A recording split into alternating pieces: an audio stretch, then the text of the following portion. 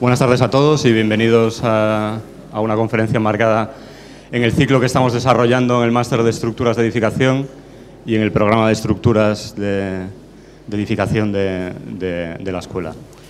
Eh, en esta ocasión, siguiendo con, el ciclo de charlas dentro del módulo de, hormigón, eh, contamos con la presencia de José Antonio Martín Caro, que es eh, director de INES Ingenieros y profesor en la Escuela de, Caminos de, la Universidad Politécnica de la asignatura de Estética y, Arte.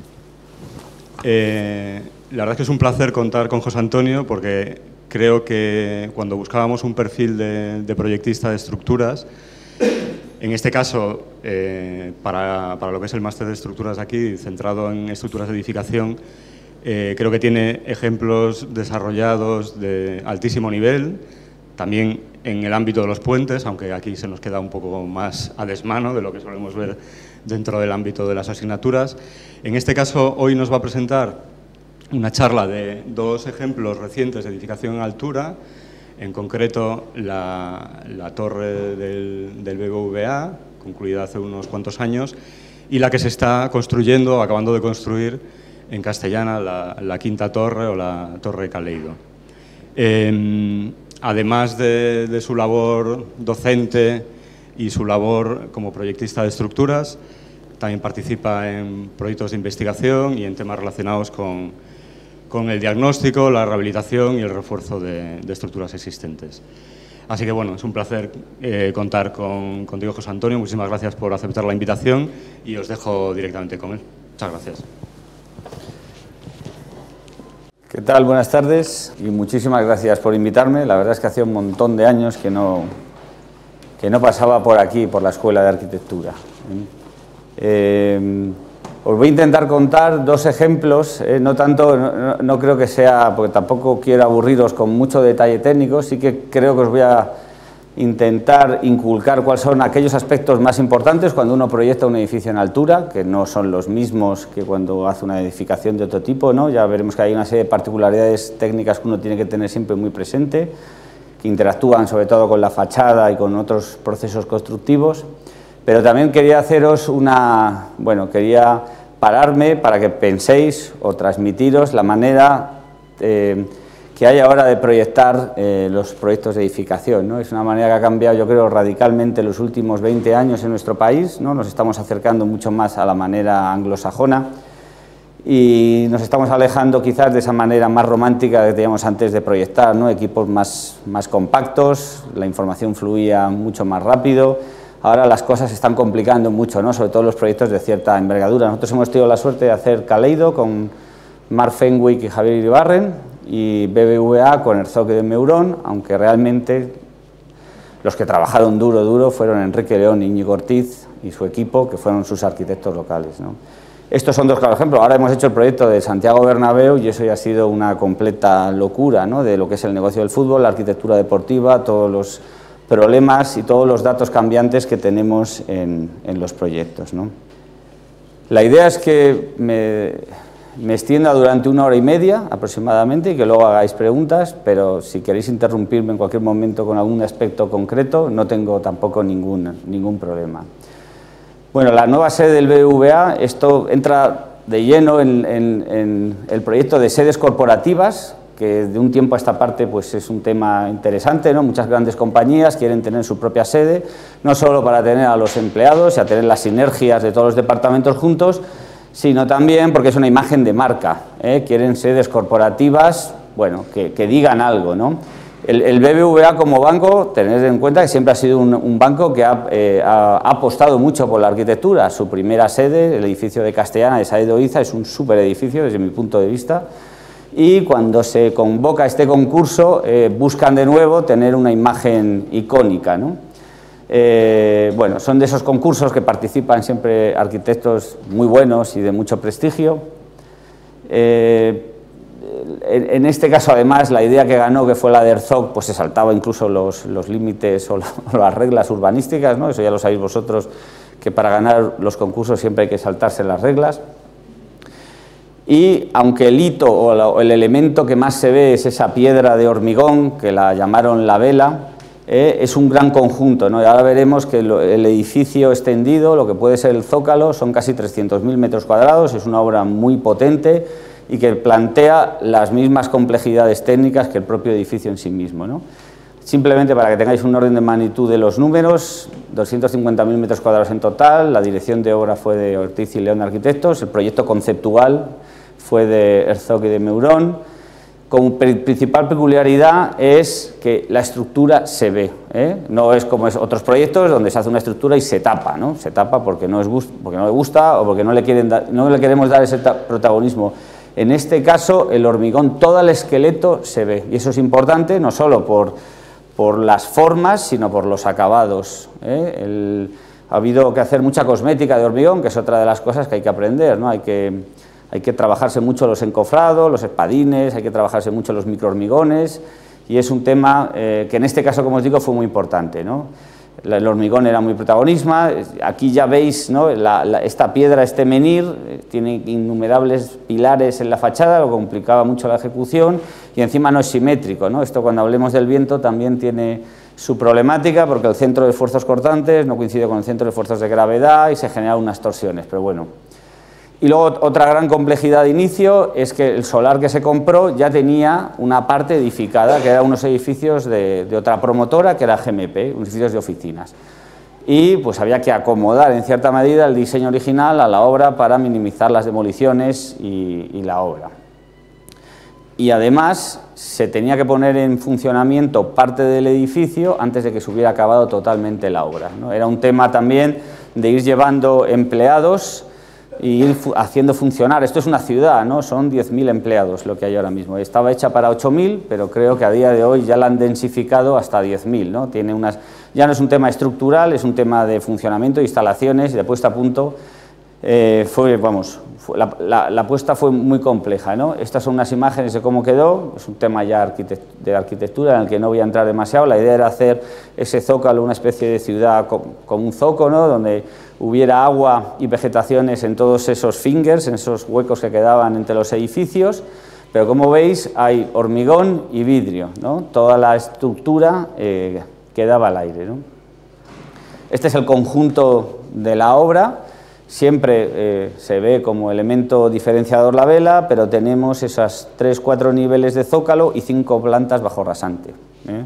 Es una obra muy voluminosa. ¿eh? Yo no recuerdo cuál fue el presupuesto final, pero solo las estructuras costaron más de 70 millones de euros, para que os hagáis una idea, eh, que es, grande y compleja a la vez. Dentro de la sede, como digo, había este elemento, la vela, ¿eh? que es un elemento, ahora hablaremos de él, estructuralmente no demasiado complicado, si no fuera por su proceso constructivo, que ahora lo veremos. Ya, ahora vamos a hablar de cómo se construyen estos edificios, tenemos las trepas centrales, pero ese anillo de hormigón ¿eh? que envolvía el edificio pues está formado de arcos de circunferencia tangentes, que en su día eran arcos de elipse, que eso ya convencemos, conseguimos convencerle a Stock de que no podían, porque las elipses no se pueden encofrar, no tienen curvatura constante, pero al final todas esas trepas tienen unas curvaturas que había que adosarlas, bajarlas, cambiar las curvaturas, volverlas a subir. No es un edificio que estructuralmente esté muy condicionado, porque apenas tenía 100 metros, pero sí tenían unas formas que, eran, que las hacían difíciles de, de ejecutar. Otro de los problemas es cuando uno hace una obra de esta envergadura es el entorno. ¿no? Hacer una obra en el centro de Madrid es muy complicada, pero hacerla en esta zona también es muy complicada. Es el, cerca del nudo norte, la M30, la carretera de Burgos, los accesos. Ahora veremos cuando, por ejemplo, el vaciado, ¿eh? hablábamos de más de 700 camiones al día, ¿eh? eso genera unos impactos de tráfico, de accesibilidad. Y de hecho es un tema que yo creo que a día de hoy no está del todo resuelto porque, y si bien es verdad que hay plazas de garaje, creo que era para el 20% de los, de los empleados, el acceso en coche sigue siendo un tema que no está resuelto. Tenían que haber pedido, yo creo, un pinchazo directo a la 1 o a la vía de servicio. Es un tema complicado. ¿no? Cuando uno hace una sede corporativa, cuando uno mete 10.000 personas que además suelen entrar y salir a la misma vez, pues el tema de los accesos es, complejo. Por supuesto, con plazos muy exigentes, y esto además es una cosa que siempre nos va a tocar, porque este edificio se hizo en la mayor crisis que ha habido en España y tenía muchísima prisa, que tampoco lo hemos entendido. ¿no? Parece que en España siempre se construye con, con, muchísima prisa, o bien porque entras en un plazo electoral de cuatro años, como la M30, o bien por otras razones. En este caso se tenía que hacer la obra en tres años. Sí que es verdad que coincidió, como os he dicho, con un periodo donde apenas eh, había obra y tuvimos a una de las mejores constructoras de España, que era Acciona, solo para nosotros, a todos los subcontratistas disponibles, solo para nosotros, teníamos todas las centrales de, de hormigonado del de Madrid, del norte de Madrid, Odón, Maorsa, suministrándonos, no hubo, vamos, en ese sentido sí que fue un periodo muy, muy fácil para construir, ¿no? incluso barato, ¿no? los bancos siempre tienen esas cosas, saben cuándo tienen que, que construir. Otra de las cosas complicadas, y que entro de nuevo a, a contaros por qué ha cambiado tanto la manera de proyectar, ¿no? y esto son anécdotas, esta era una obra absolutamente auditada. ¿no? Hasta tal punto, el BBVA cotiza en el Nasdaq americano. Entonces, todas las órdenes de cambio, aunque fueran de 500 euros, tenían que pasar por el comité de dirección.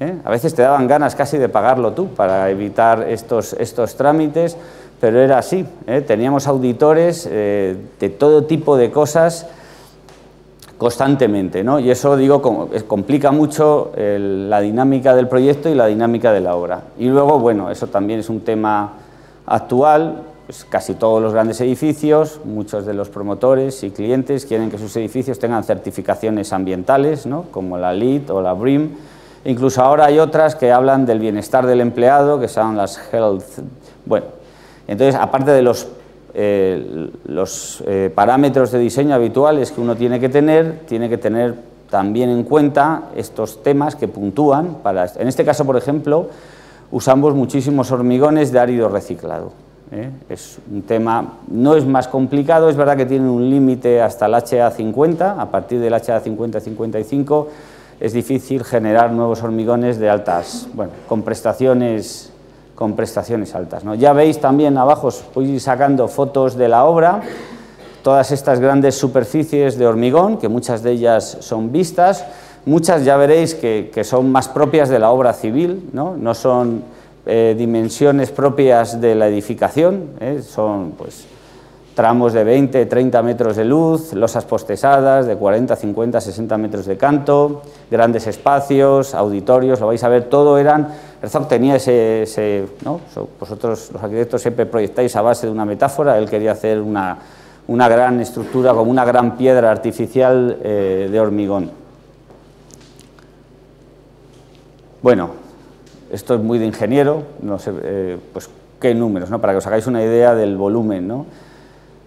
Teníamos aproximadamente 90.000 metros cúbicos de hormigón, 15.000 toneladas de acero pasivo, 580 de acero activo, es decir, una obra muy grande. Todo, como digo, en hormigón. Si, no sé, las fotos si se ven bien, a la derecha tenéis una escalera helicoidal. Yo recuerdo esa escalera dio un montón de guerra porque tenía que ser vista. Solo los encofrados de esa escalera, hicimos tres moldes con span con unos encofrados metálicos, etcétera. El problema es que además, por cómo tenía la geometría, los peldaños eran de mucho espesor y esa escalera creo que pesaba más de 15 toneladas. ¿no? Entonces la tuvimos que hacer de, árido, de hormigón ligero, ¿no? con un árido especial. ¿no? El, el, hormigón es verdad que te da infinitas posibilidades, pero bueno, hay que trabajar diferentes tipos de hormigón. Y a la izquierda tenéis ese arranque de, de, de, esa corona o envoltura de hormigón, que veis que tiene un gran número de ferralla y tenían, gran, unos espesores muy grandes, y ahí tuvimos que hacer unos ensayos sónicos para asegurarnos que todos esos eh, elementos quedaban bien, bueno, que el hormigón llegaba a penetrar y las, teníamos una correcta adherencia. ¿no? Y esto es lo que os contaba antes, ¿no? Eh, comentábamos tomando un café, antes yo recuerdo cuando, tampoco soy muy mayor, tengo 48, pero cuando salí de la escuela, el entorno de proyecto era mucho más acotado. Eh, generalmente los promotores confiaban en el arquitecto como su hombre de confianza. No había aparecido la figura del proyecto todavía en España y el arquitecto, digamos, coordinaba, eh, para eso teníais esa formación, casi todas las etapas. Él aportaba sus consultores y y se generaba unos entornos de trabajo más cómodos desde mi punto de vista. ¿no? Trabajabas pues, en parejas o de dos o de tres. ¿no? Era un, el proyecto se quedaba en una mesa de dibujo, por decirlo de alguna manera, o de cálculo, como queráis verlo. ¿no? Ahora no tiene nada que ver. Estos grandes proyectos, yo no trabajo para, nosotros, nuestra empresa no trabaja para el arquitecto, yo trabajo para el promotor. Y en Caleido igual y en el Real Madrid igual, ¿no? Ya no hay esa figura tan habitual, digo en proyectos grandes, ¿eh? los proyectos pequeños seguirán siendo de otra manera. Ya esa figura no está y además se subcontrata, hay auditores, hay projects, hay eh, cost control, ¿no? hay todo tipo de interlocutores. Luego, eh, dentro del propio cliente, pues está la dirección de inmuebles ¿no? o la dirección de, de, infraestructura, pero está también la de compras, está también marketing, está también, depende del tipo de cliente que tengas, puedes tener que hablar, puedes tener un cliente multicéfalo. ¿no? Y eso, como digo, con, bueno, es una manera quizás más internacional, más habitual de trabajar, pero eh, sí que es verdad que por lo menos a nosotros nos ha supuesto un, cambio radical ¿no? en, nuestra manera de operar. ¿no? Esto es lo que os decía, centrémonos ahora ya en el edificio BBVA fase 1. Básicamente, cuando se compra el solar, veis el edificio que había a la derecha, tenían un edificio medio construido, habían empezado a desmontar las fachadas y básicamente Herzog lo que hace es, bueno, en ese conjunto que iba a poner, intenta aprovechar lo máximo posible, pero claro, la concepción era radicalmente diferente, ¿no? Eso era un edificio de oficinas lineal y esto era un... Y ahora en la situación final, veis las otras dos parcelas, que es donde estamos agujereando, es un conjunto... Ah, sí, sí, además esto fue... Estos dos, nuestro edificio abarcaba muchísimo más, ¿no? Luego además aquí había que hacer una plaza... Eso nos llevó, como veis, a, a ese aprovechamiento no ser tan eh, tan óptimo, ¿no? porque no sé, claro, es un poco tonto penalizar el diseño final por la estructura que está hecho. Y lo que nos, obligó a, por, una parte, lo que había hecho, hacer una rehabilitación a gran escala, hacer, que fue lo más complejo, la conexión de estructuras nuevas con, con existentes, ¿no? todo tema de ménsulas cortas, apoyos a media madera, pasadores, soldadores, son estas interfaces que se generan en estructuras antiguas y nuevas, son muy complejas porque no hay espacio, particionan las, arquitecturas. Eso fue un tema realmente complejo, ¿no? Esto, pues, es el típico detalle de una ménsula corta que se coge casi con unas uñas, pero es que a lo mejor aquí venía una viga de dos metros de canto casi como un puente, ¿no? O sea, todo ese, tipo de cosas, la verdad es que hizo que la parte de rehabilitación, que uno puede pensar que es más sencilla, pues al final casi acabara siendo más complicada, ¿no?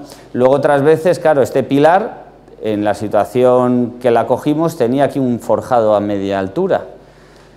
Claro, cuando yo le quito ese forjado, la longitud de pandeo es el doble, ¿vale? Entonces ya no vale, o lo, recrecíamos con microhormigón o lo envolvíamos en fibra.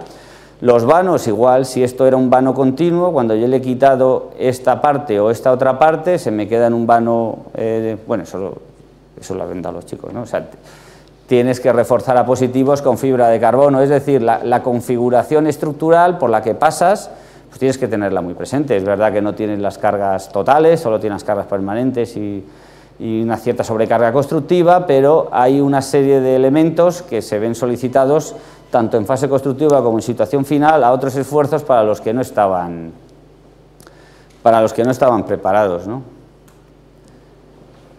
Bueno, luego aquí usamos, hicimos pocas juntas, yo, nosotros como, yo como ingeniero soy partidario de poner pocas juntas, ¿no? yo creo que además es un concepto demasiado eh, fácil entender, ¿no? Eh, hay una norma que dice que si pones, no, si no pones, yo ni me la sé, pero vamos, que si pones, si no pones juntas cada 40 o 50 metros te lo tienes que estudiar, entonces la gente pues no se lo estudia, pero si te lo estudias normalmente puedes ir a hacer hasta 100 metros edificios en juntas.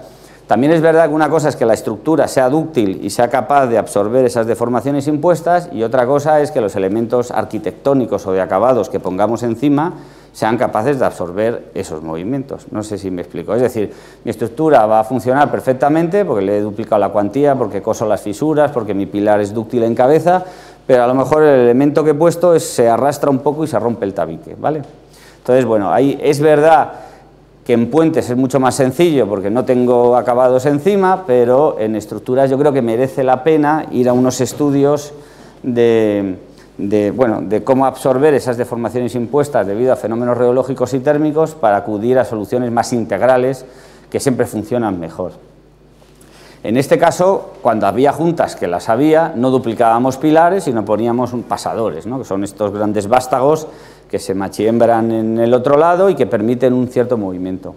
Y aquí sí que os cuento una cosa que además nos ha pasado ya muchas veces, y es, así, ¿no? Las normas de hormigón minusvaloran un montón las microdeformaciones de retracción, ¿vale? sabéis que la norma, en función del tipo de hormigón, entráis en el prontuario informático de hormigón armado y os dicen que hay 500 microdeformaciones o 300, ¿no? Medio milímetro al metro, lo que sea, que lo que te viene a, cuantificar es lo que se acorta el hormigón por ese fraguado ¿eh? a, a mil días que vamos a tener siempre.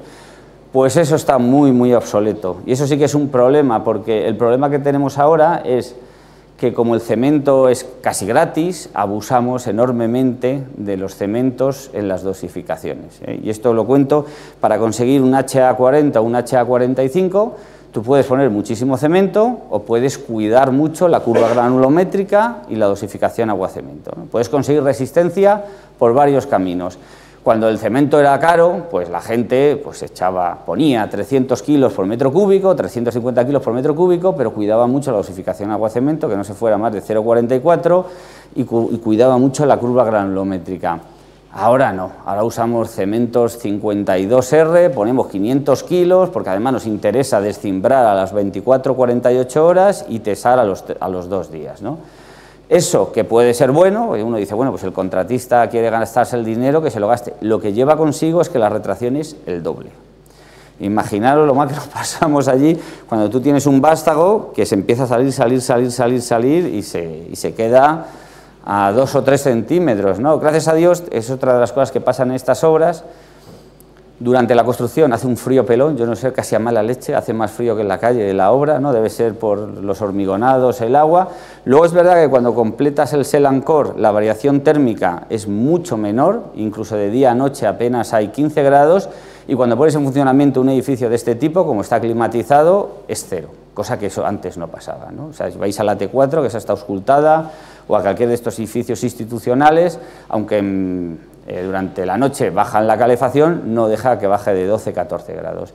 Entonces, una vez que está terminado el edificio, pues apenas hay temas térmicos. ¿no? Bueno, ahora vamos a pasar por elementos. Esta gran plaza tenía esta especie de gran puente por encima, con estos pilares metálicos, que además tenían este sistema de full flow en su interior, es decir, que hacían también de bajantes, Tenía un sistema especial porque tiene que ser eh, bueno, auscultable y, fácil de mantener con un cacharrito que ponían. Aquí también tuvimos un problema, que es el problema del fuego. está muy claro, el tiempo de exposición al fuego tienen que cumplir las estructuras. Eso lo dice la norma. Si hace un edificio hospitalario, un edificio de oficinas, en función de la altura, puedes tener 60, 90, 120. Lo que no está nada claro es cómo conseguir ese tiempo de exposición. ¿vale? Entonces, si uno no quiere hacer mucho, de nuevo, si no quiere trabajar mucho, va a las normas de los materiales, entra en unas tablas y dice esto, ¿no? Si quiero conseguir que el hormigón aguante 90, tengo que tener recubrimientos de 4 centímetros y tengo que tener, eh, bueno, pues una capa de compresión de tal.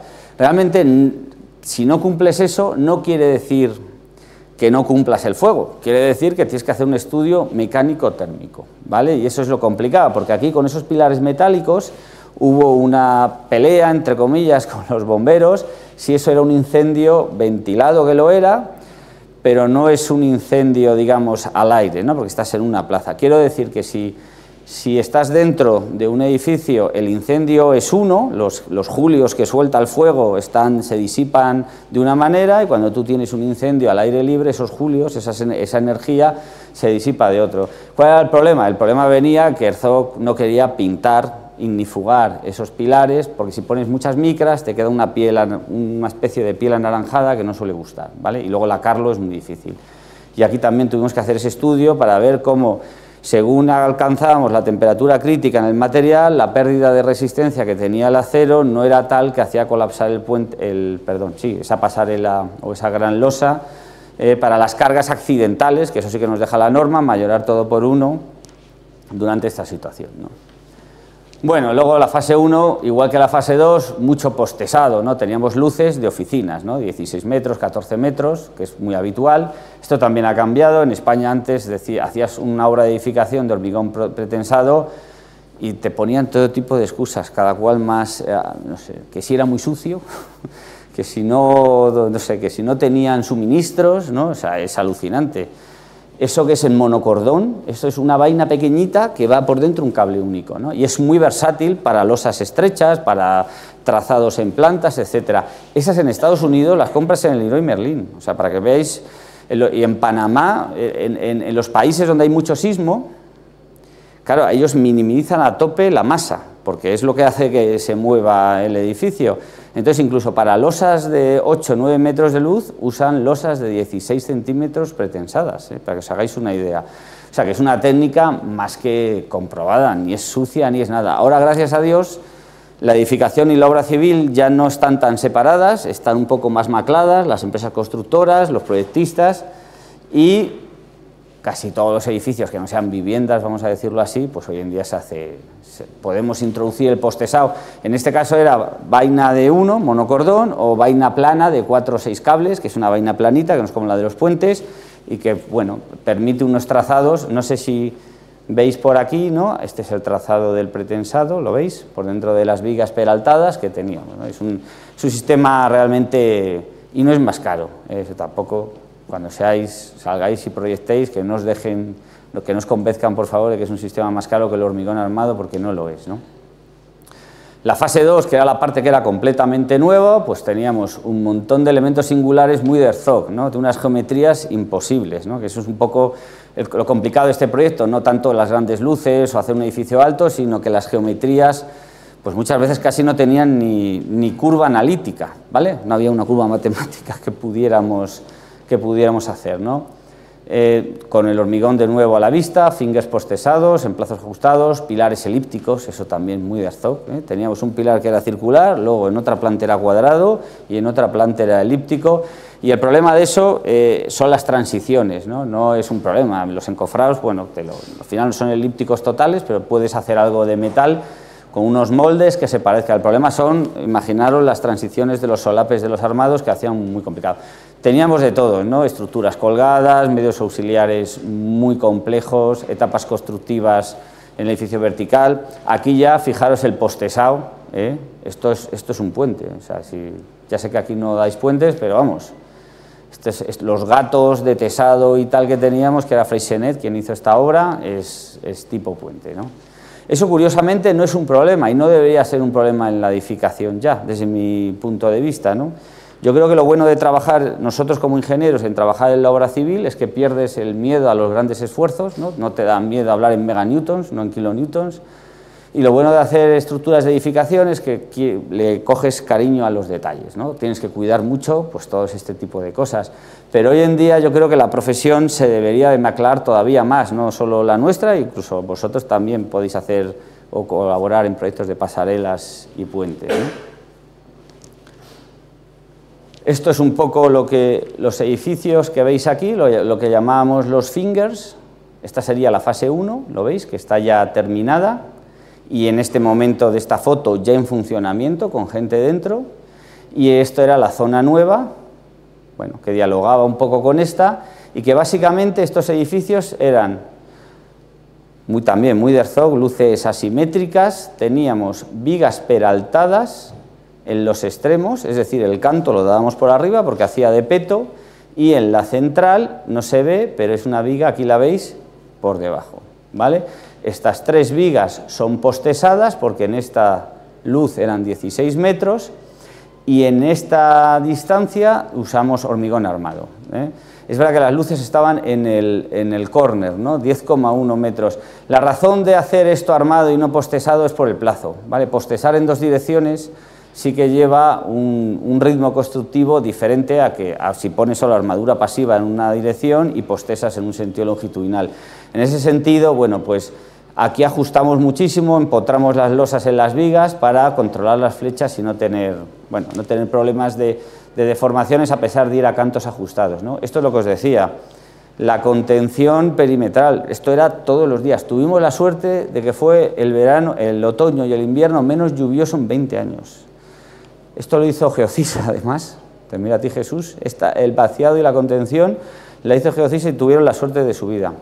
Aquí, fijaros, los módulos de pantalla, sabéis que son bueno, estos elementos de contención que ejecutamos, usábamos módulos de 5 metros, que es muy poco habitual por la rapidez, ¿vale? O sea, normalmente se hacen módulos de 2,4, se puede ir a 4,8, pero las jaulas, las grúas ya son otra...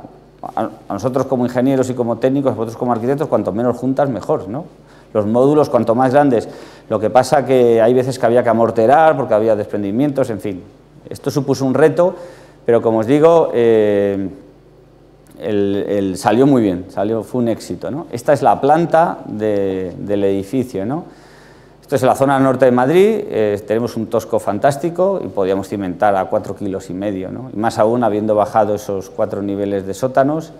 Estas son las zapatitas, ¿no? que no son tan pequeñas, lo que pasa que la escala de... El problema de la edificación, eso sí que es una crítica que os hago, es que como todo lo dibujáis en A3, pues da igual, porque si el proyecto es enorme, salen unas cosas enanas. ¿no? En obra civil no es así, porque tiramos de plotter, ¿no? tenemos cosas de, otra escala. ¿no? Entonces, claro, si el proyecto es muy grande, la escala que te sale en A3 es 1.500, ¿no? y ahí no se ve nada, ¿no? es lo que quiero decir. Aunque luego se vaya particionando esto en, en diferentes planos.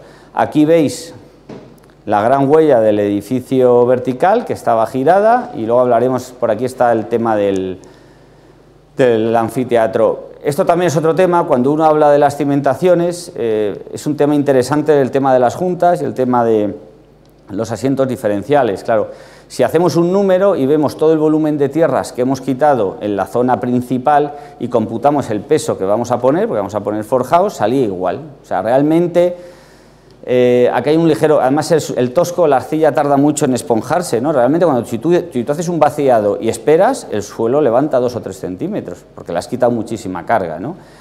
Sobre todo si es granular. Si el terreno es más arcilloso, tarda muchísimo, ¿no? Entonces, claro, como aquí fuimos muy rápidos, construimos antes de que recuperara el tema, ¿no? Pero básicamente lo que os quiero decir es que en toda esta zona los asientos esperables, en las zapatas, ¿no? eran nulos, vamos a decirlo así, ¿de acuerdo?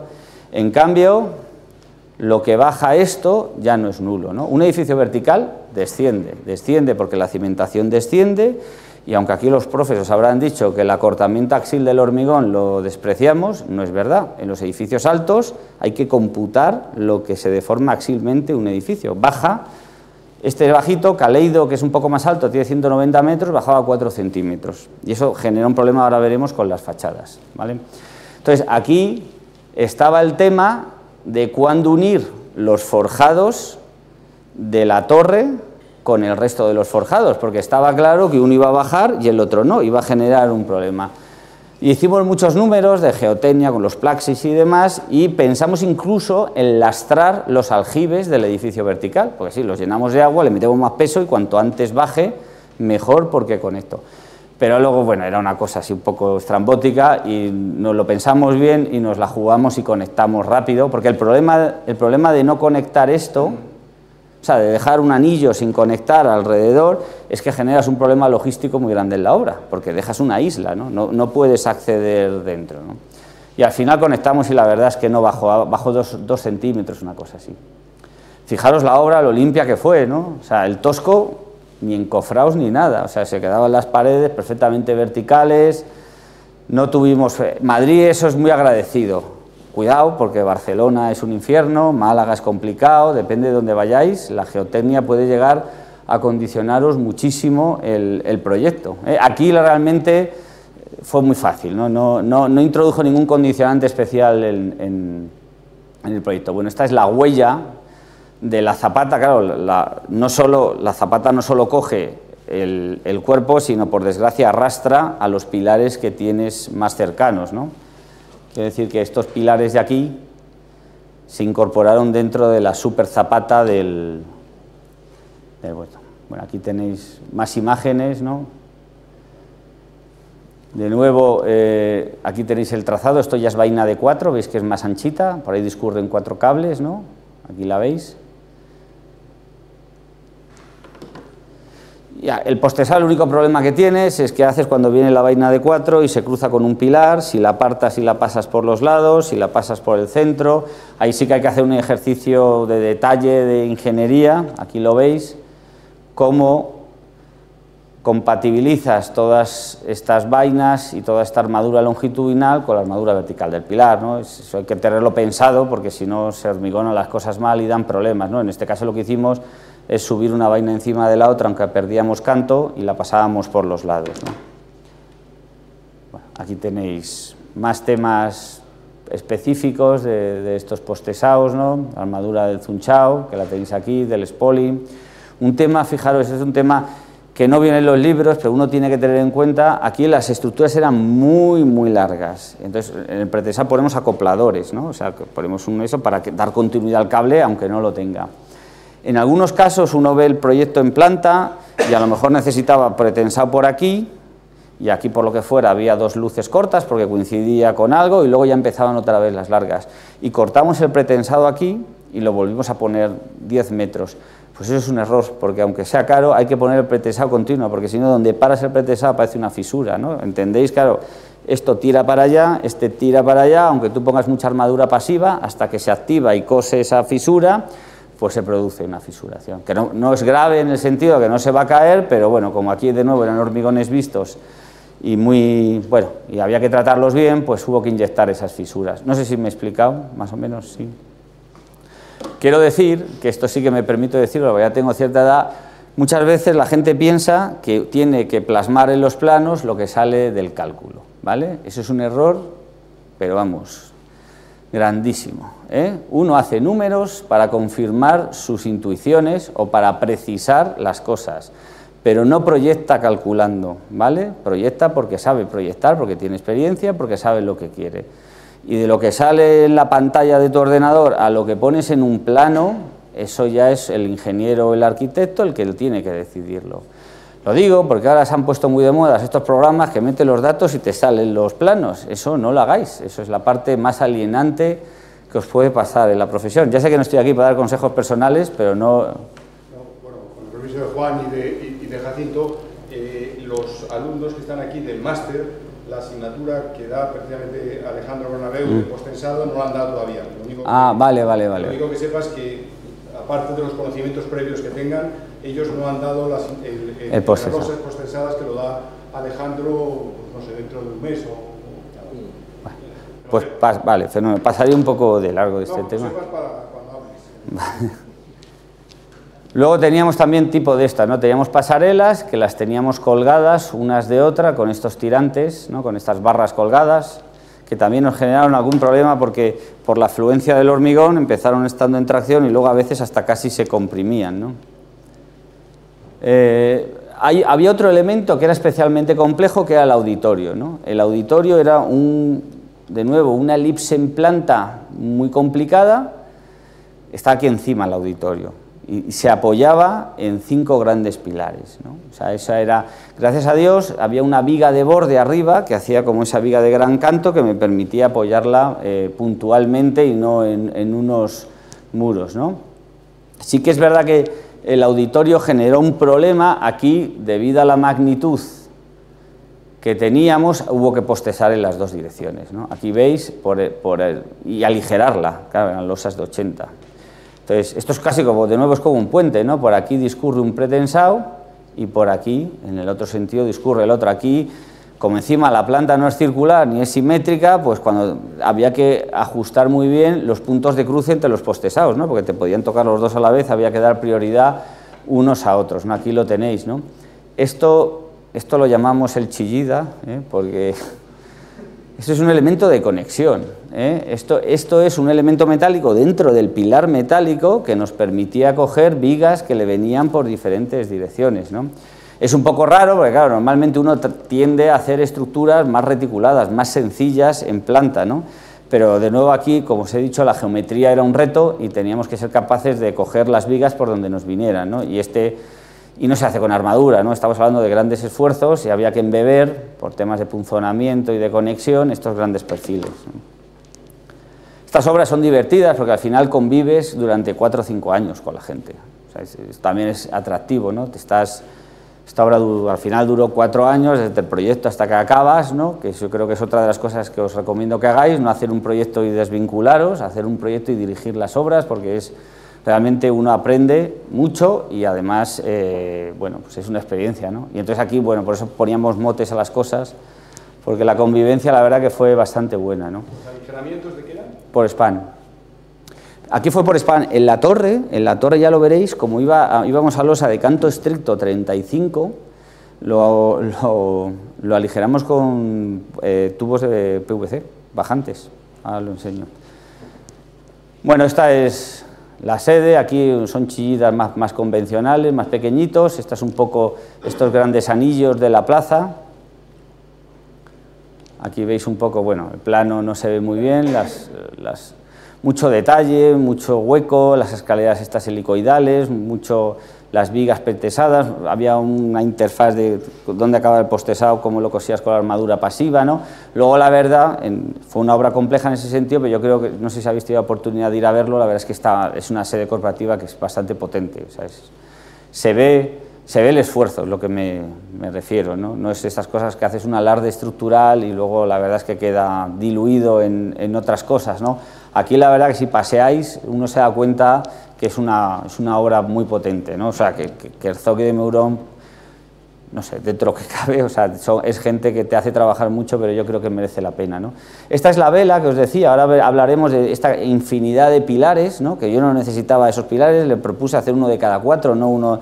Pero me, me decían que es que era un panal, ¿no? O sea, realmente la imagen que quería dar era un panal, entonces quería tener pilares cada dos y medio, que es una es una, una putada, vamos, porque solo para sacar los encofrados de una planta a otra no te cabían por la fachada. había que subirlos por las escaleras, que no había mucha. No sé si me explico. O sea, para pasar el material de los medios auxiliares de aquí a aquí, normalmente tú tienes fachadas amplias y lo sacas muy fácil, ¿no? Pero aquí, claro, teníamos pilares cada dos y medio, era muy complicado. Bueno, esta es la imagen de, de la escalera helicoidal, ¿no? Que la, la verdad es que Acciona hizo un súper trabajo también como os he dicho, tuvimos la gran suerte de que España estaba parada, no, no había obras, teníamos todo el departamento técnico de Acciona, eh, sus mejores jefes de obra, los mejores encargados, o sea, la verdad que fue una obra fantástica. ¿no? Y este es un poco el, este elemento distintivo, ¿no? aquí empezáis a ver la losa de cimentación, estas carcasa de hormigón, estos forjados de longitud variable, este es el núcleo central que tenía esta forma, esta cúpula, ya veréis, es muy especial, porque claro, no deja de ser una gran cúpula hormigonada a 100 metros del suelo, ya la veremos. Y básicamente la estructura era muy sencilla. Tenía muchísimos pilares en fachada, cada dos y medio, tenía un gran núcleo de comunicaciones y luego tenía una estructura que funcionaba fundamentalmente de manera cilíndrica, ¿no? de este lado a este lado. Eh, las luces eran muy importantes, pero decidimos aquí no postesar. Ahora veréis por qué, por otras razones. Y lo que hacíamos es hacer una losa de canto potente de 35, pero la aligerábamos.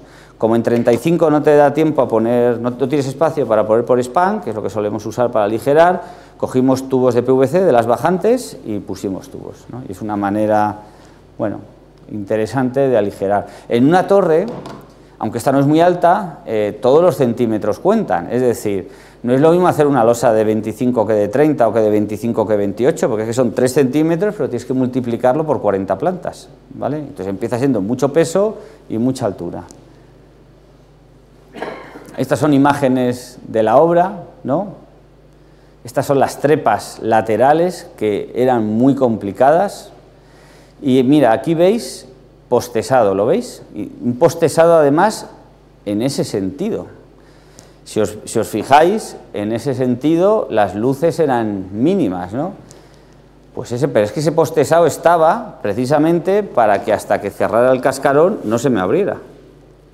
No sé si me explico. Claro, íbamos construyendo así, yo lo que tenía que hacer era atar, poner un tirante para atar las dos, los dos gajos, ¿no? Es un postesado constructivo, de hecho se iba tesando según construíamos y se fue destesando al final cuando estaba cerrado. Esto lo hicimos porque poner una cimbra que aguantara esto, perdón, hasta esta altura era impensable. ¿no? Aguantar todo esto en una cimbra hasta que esto fuera atarlo aquí. Entonces creo que la cimbra llegó hasta esta primera planta y a partir de ahí, en cada forjado longitudinal, antes de tesábamos y luego desimbrábamos. Estos edificios, como en general la obra civil, pasan por situaciones constructivas que siempre son muchísimo más limitantes que la situación final. Es como decía, no sé si conocéis a Heyman, de las catedrales, que es el teorema de los cinco minutos. ¿no? Si aguanta cinco minutos construido, ya aguanta para toda la vida. ¿no? Pues eso pasa en los puentes generalmente y en estos edificios complicados.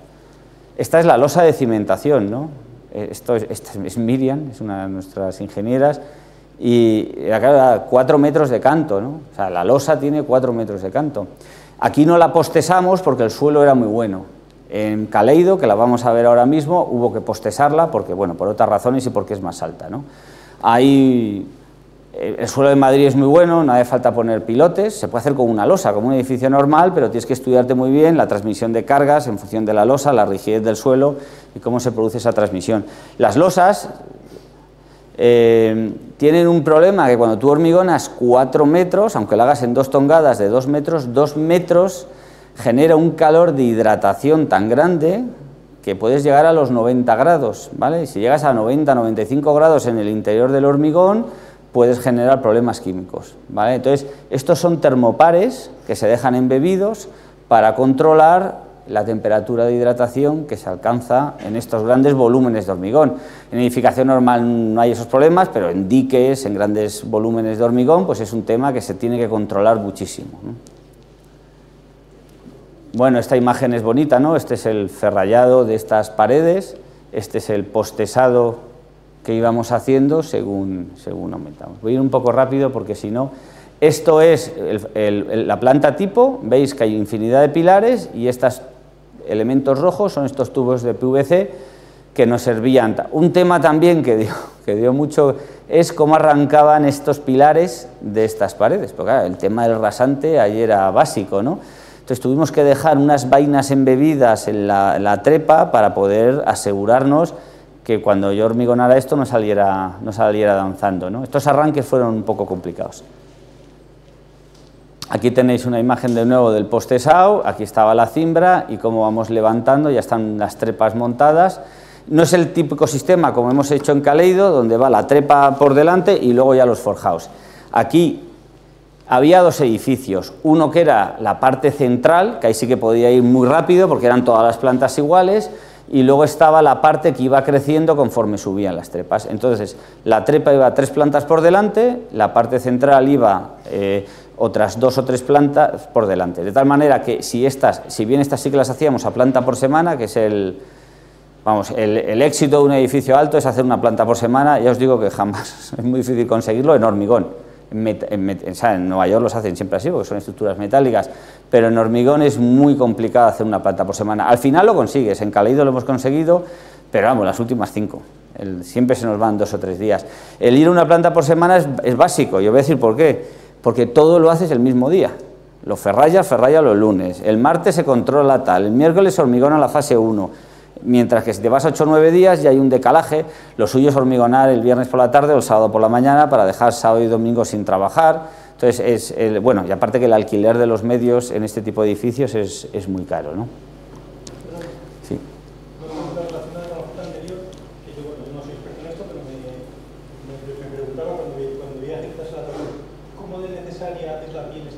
No, no era necesaria. no, no. Es arquitectura.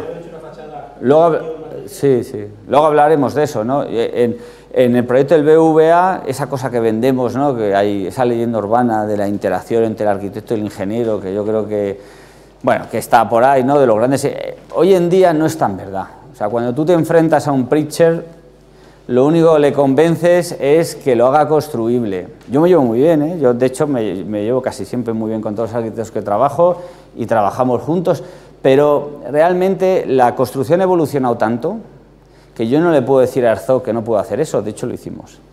Y si hay un cliente que lo quiere pagar, pues que lo pague. ¿no? Pero no, no es esa cosa, en Caleido sí, porque Fenwick no sé si le conocéis, a Mark Fenwick y Javier Iribarren, son, son arquitectos españoles, ¿eh? no son extranjeros, son unos tipos fantásticos, no quiero decir que esto no fuera, pero ellos sí que buscan esa eficiencia desde el primer día. ¿no?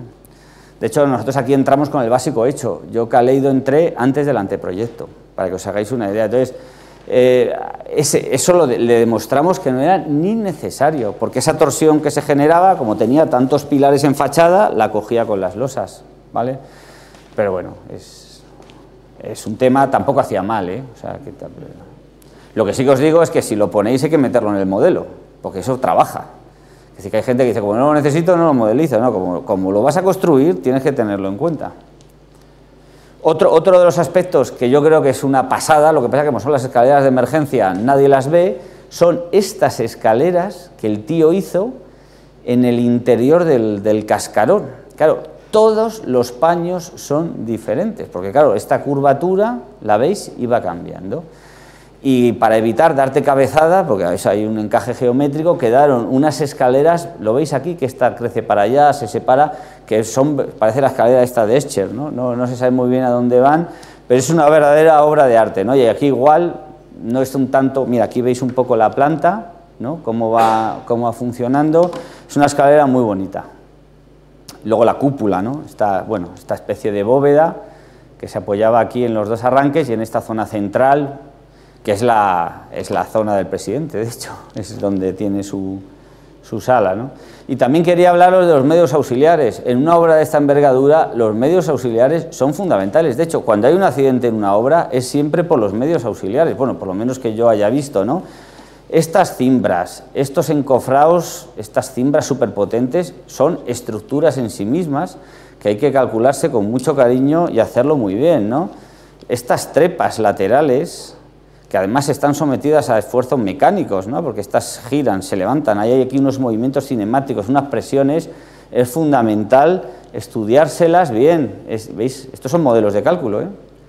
Todos estos, los encofrados, toda esta maraña de puntales, hay que calcularlos porque no son convencionales. No le puedes pedir a Peri, oye, mándame una cimbra de las que tienes de catálogo, las tienes que proyectar y construir. Esa parte más rollo, quizás más árida, pero es importantísimo. ¿vale? Bueno, estos son ratios de ejecución. Eh, al final, como digo, toda la vela la hicimos más o menos a dos semanas por planta. Hacíamos mil metros cuadrados al día. ¿eh? O sea, eso, para que os hagáis una idea del ritmo de construcción y vertidos casi de 400 metros cúbicos. Bueno, tengo todavía 35 minutos. Os quería contar Caleido porque es otra torre que tiene otra problemática. pero le pasa un poco igual, ¿no? Todas estas grandes obras nos fijamos en, la torre, pero aquí de nuevo lo complicado es lo de abajo, no sé si habéis podido verlo, o sea, el zócalo de esta torre es fantástico en todos los sentidos, porque ahora se han puesto muy de moda los edificios multiusos, y entonces tenemos una clínica, encima un polideportivo, encima una zona comercial y al lado el auditorio, ¿no? porque no tenemos cajitas, tenemos eh, usos hojaldrados, ¿vale? Y eso complica muchísimo la estructura, complica muchísimo la arquitectura y complica muchísimo en general la coordinación y la construcción. He traído esta foto porque a mí Fenwick me hace mucha gracia porque es, considerablemente más baja que el resto, pero siempre me manda fotos que parece más alta. O sea, y lo del tamaño, yo no tengo... En los puentes sí que es verdad que hacer un puente, ahora estamos haciendo un puente en Barcelona muy grande, es verdad que a partir de los 100, 200 metros un puente se complica mucho, pero un edificio en altura hoy en día hasta los 400 metros es fácil. O sea, no, no es un tema que no sepamos hacer. ¿no? A partir de los 400 metros, que son las Sears Towers, ahí ya empiezas a tener que cambiar de tipología de estructura, hacer eh, núcleos multicelulares, etcétera, pero hacer estas estructuras es un tema de hay que tener en cuenta cuatro cosas sabértelas bien, no equivocarte, pero, pero no es mucho más complicado. Decía, sacaba esta foto porque Fenwick dice que la torre es una escultura alta y no una torre baja. ¿eh? Es verdad que tiene unas proporciones que son salvajes, ¿eh? o sea, las vais a ver. Estos son de una anchura mínima, ¿eh? es que tenemos una anchura creo que son de 12 metros y tenemos 80 metros de exposición al viento, o sea, es que es realmente esto sí que es una vela, ¿no? Y aquí sí que pega el viento, ya lo veréis, ¿no? Bueno, lo primero de Caleido, aquí sí que participamos desde muy, muy el primer día, lo que teníamos era una estructura existente. Eh, había previsto, Tuñón y Mansilla hicieron un proyecto súper interesante también, de un palacio de congresos, que era este, y cuando tenían ejecutado lo que veis aquí, el color sandía, la obra se paró. Se hizo una obra mínima, porque claro, se había hecho la contención, con anclajes, entonces se tuvo que levantar un poco el edificio porque los anclajes caducan, no pueden estar allí de por vida, para que eso, digamos, aguantara los esfuerzos de las tierras.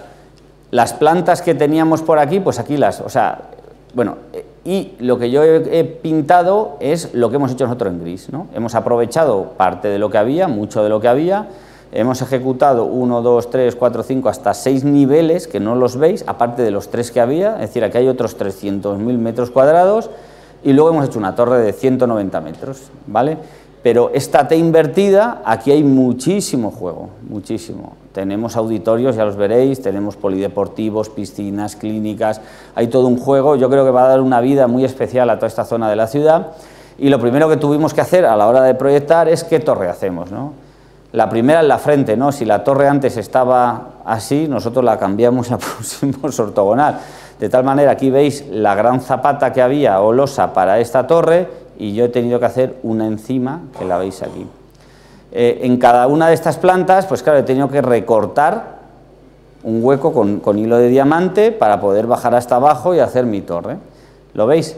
En otras zonas también he tenido que demoler algún forjado más porque eran auditorios, estaban inclinados y lo hemos tenido que hacer horizontal. Pero lo interesante es que hemos conseguido que todo esto y todo esto que va sobre esto, aprovechar la cimentación que había, por ejemplo, o aprovechar los pilares que había. Tuñón y Mansilla había hecho una obra muy singular, yo la verdad es que no he llegado nunca a entenderla, porque las luces que tenían era de 14 por 14, las luces muy raras, y las habían resuelto en hormigón armado, que no se suele resolver. Las habían resuelto a base de poner unas losas de 45 de hormigón blanco, lo vais a ver, que eso es, pues ahí hay enterrado dinero, tableteado, precioso, y encima las habían empotrado en estos grandes muros, ¿no? Estos muros tienen un metro veinte de espesor, que parecen casi muros de gravedad más que de hormigón. Había hecho unas grandes cajas de hormigón blanco, que es, precioso, si podéis ir a verlo, es, cuando lo abran es, es fascinante, pero claro, yo no podía seguir con esa dinámica de estos muros tan grandes y tan y entonces lo que hicimos, ahora lo vais a ver, yo cambié en las plantas mías, en todas estas plantas, fuimos a luces de 7 por 14, es decir, dejamos 14, pero la otra la cambiamos. Y tuvimos que enhebrar pilares, porque en las plantas que ya estaban hechas, ahora lo veréis, no cogen cargas, pero eso sí que los toque bajar la cimentación para no pegarlos. Bueno, uno de los condicionantes muy importantes que para nosotros sí que nos supuso un reto era intentar aprovechar al máximo lo que había. Esto es lo que había cuando llegamos. La obra casi abandonada, aunque aquí se ve fea, es hormigón blanco, ¿no? Esto es un poco estos forjados que había. Aquí, como la castellana es mucho más alta que esta zona, se construyeron unos pocos forjados más a modo de contrafuertes para contener ese desequilibrio de cargas. Y esto es lo que os decía de los usos, claro. Tenemos clases aquí. ¿eh? podéis apuntaros al IE porque de verdad que tienen unas instalaciones que son fantásticas. ¿no? O sea, tienen toda la torre, son, son clases de universidad. Luego tienen las zonas moradas, son zonas comerciales, van a ser restaurantes y tiendas, no muchas. La parte verde es el aparcamiento. En principio las dos plantas de abajo no se usan porque hay exceso de edificabilidad. Esta es probable que se use en el futuro, pero la de abajo no, la de abajo seguro que no. Aparte le hemos puesto, veis, esta losa aquí en medio que la hace difícil Luego tenemos una clínica, que es la clínica Quirón en esta zona, y toda esta zona en naranja es la zona deportivo y recreativo de la universidad.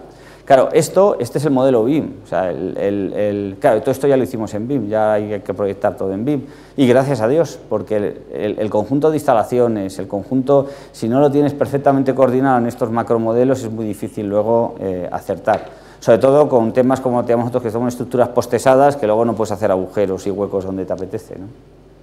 Aquí otro de los temas que nos influyó mucho fue el viento. ¿no? En todos los edificios en alturas uno hace un túnel de viento, ¿no? que calcula bien las presiones dinámicas que tiene sobre su estructura. En, BBVA no os lo he comentado, lo hizo Walker, que es Stuttgart, que es una oficina muy buena, tiene unos túneles de viento. Y la otra que es muy buena es West Ontario en Canadá, que tiene unos túneles de viento también muy potentes. Eh, BBVA se hizo en Stuttgart, esto se hizo en Canadá porque habían hecho también las cuatro torres, tenían ya las maquetas y tenía todo. Nosotros aquí lo que hicimos, que es una cosa que hacemos en nuestra oficina, porque además nos gusta meternos en estos follones, es hacer túneles de viento virtuales, ¿vale? Es decir, tenemos unos programas muy complejos, se llaman CFDs, que es Computational Fluid Dynamics, que lo que modelizamos es el comportamiento de los fluidos. Eso te permite obtener de manera cualitativa, porque claro, el túnel de viento lo tienes que hacer ya al final, cuando sabes las permeabilidades de tus fachadas, la distribución exacta, ¿no? es un túnel que te sirve para confirmar lo que has proyectado, tienes que meter muchos datos. Estos estudios cualitativos lo que te permite es intuir por dónde van a ir los temas. Ten en cuenta que esta zona de Madrid hace un viento muy fuerte, no, no tanto en cuanto que va a tirar el edificio, pero sí en cuanto al confort, que es un tema que tenemos que tener en cuenta. ¿Eh? O sea, hay zonas comerciales, la gente no quiere sentarse a tomar un café y que todos los días le esté soplando más de dos metros segundo en la cara porque está testado que la gente se, se levanta y se va, ¿no? Entonces, era una zona muy ventosa, esta es la planta, de nuevo, esta es nuestra torre, este es el zócalo, estas son las otras dos torres y todos estos puntos son puntos de medición, ¿no? Queríamos evaluar realmente eh, cuál era la, situación de confort del viento. ¿vale? O sea, el viento hay que estudiárselo por tres razones. Por la presión sobre la estructura, las cargas de viento, que las de Eurocódigo a partir de 100 metros no vale, bueno, no vale o no son directamente aplicables. Por el tema de las fachadas, del anclaje de los módulos de la fachada y también por el tema del confort. ¿vale? En España la verdad que lo del confort, entre que no hacemos muchos edificios y que el clima es muy benigno, pues aunque haga un poco de viento, pues te da el sol, ¿no? Pero imaginaros eh, Toronto, ¿eh? Es que la gente se cae por, las calles, pues las calles están heladas, van con un paraguas y salen, volando, de hecho hay accidentes, ¿no? De hecho, hay, hacen túneles de viento que meten a la gente dentro para ver cómo se comporta. Entonces, el túnel, el, viento aquí fue claramente un condicionante que tuvimos en, el proyecto, ¿no? Por no solo ya de estructuras, sino de orientaciones y condicionantes. Este es imágenes del túnel de viento virtual, ¿no? con las presiones dinámicas, cómo ha los remolinos, y esto es West Ontario. ¿no? Este es el típico, no sé si lo habéis visto alguna vez, es un túnel de viento, aquí hay una turbina que suelta viento a diferentes velocidades, todos estos elementos sirven para, son rugosidades para romper la turbulencia, y esto se pone en los entornos y se ponen filamentos y los calientes para medir presiones. Y con eso tienes una orden de magnitud de velocidades y presiones. Es verdad que parece muy científico, también os digo que el que hace esto tiene que saber lo que le sale, ¿eh? porque, porque si no, a mí me da los resultados sin cocinar y la verdad es que es muy difícil intuir. ¿no? Esto es un poco la, magnitud de la torre. ¿no? Bueno, la, torre no es, no es, tan grande, son solo 60.000 metros cuadrados, del lado de Montfort es alta, porque realmente tiene 193 metros, pero si lo miráis del lado de la Castellana, como nos ahorramos todos los 35 metros, es más bajita. ¿no? además, quiere decir que es más baja y encima arranca de, más abajo, ¿no? entonces por eso todavía... Pero fijaros lo que os decía el Zócalo, el Zócalo son 280 por 100 metros. Aquí solo teníamos junta, aquí y aquí. Es decir, hicimos casi 120 metros sin juntas en la estructura. Bueno, las demoliciones, intentamos aprovechar por supuesto todo, pero hubo que demoler, ¿no? Esto fue divertísimo, fue en verano, o sea, parecía una película de Mad Max, ¿no? O sea, había todo tipo de elementos. Aquí en su día pensamos hacer una demolición, digamos, más europea, cortando con hilo de diamante, llevarnos las piezas a un sitio, picarlas, sacar la ferralla y demás, pero la verdad es que era muchísimo más caro y lo que se decidió es usar la obra, como veis, para demoler todo extraer los redondos que están por aquí, hacer la selección de los áridos, muchos aprovecharon para las esplanadas y otros se llevaron a vertido. estas demoliciones hay, que hacer un proyecto de verdad, porque fijaros toda esta carga, esto hay que apearlo, no sé si lo veis, claro, es un, hay que tener muchísimo cuidado por dónde van acumulando los...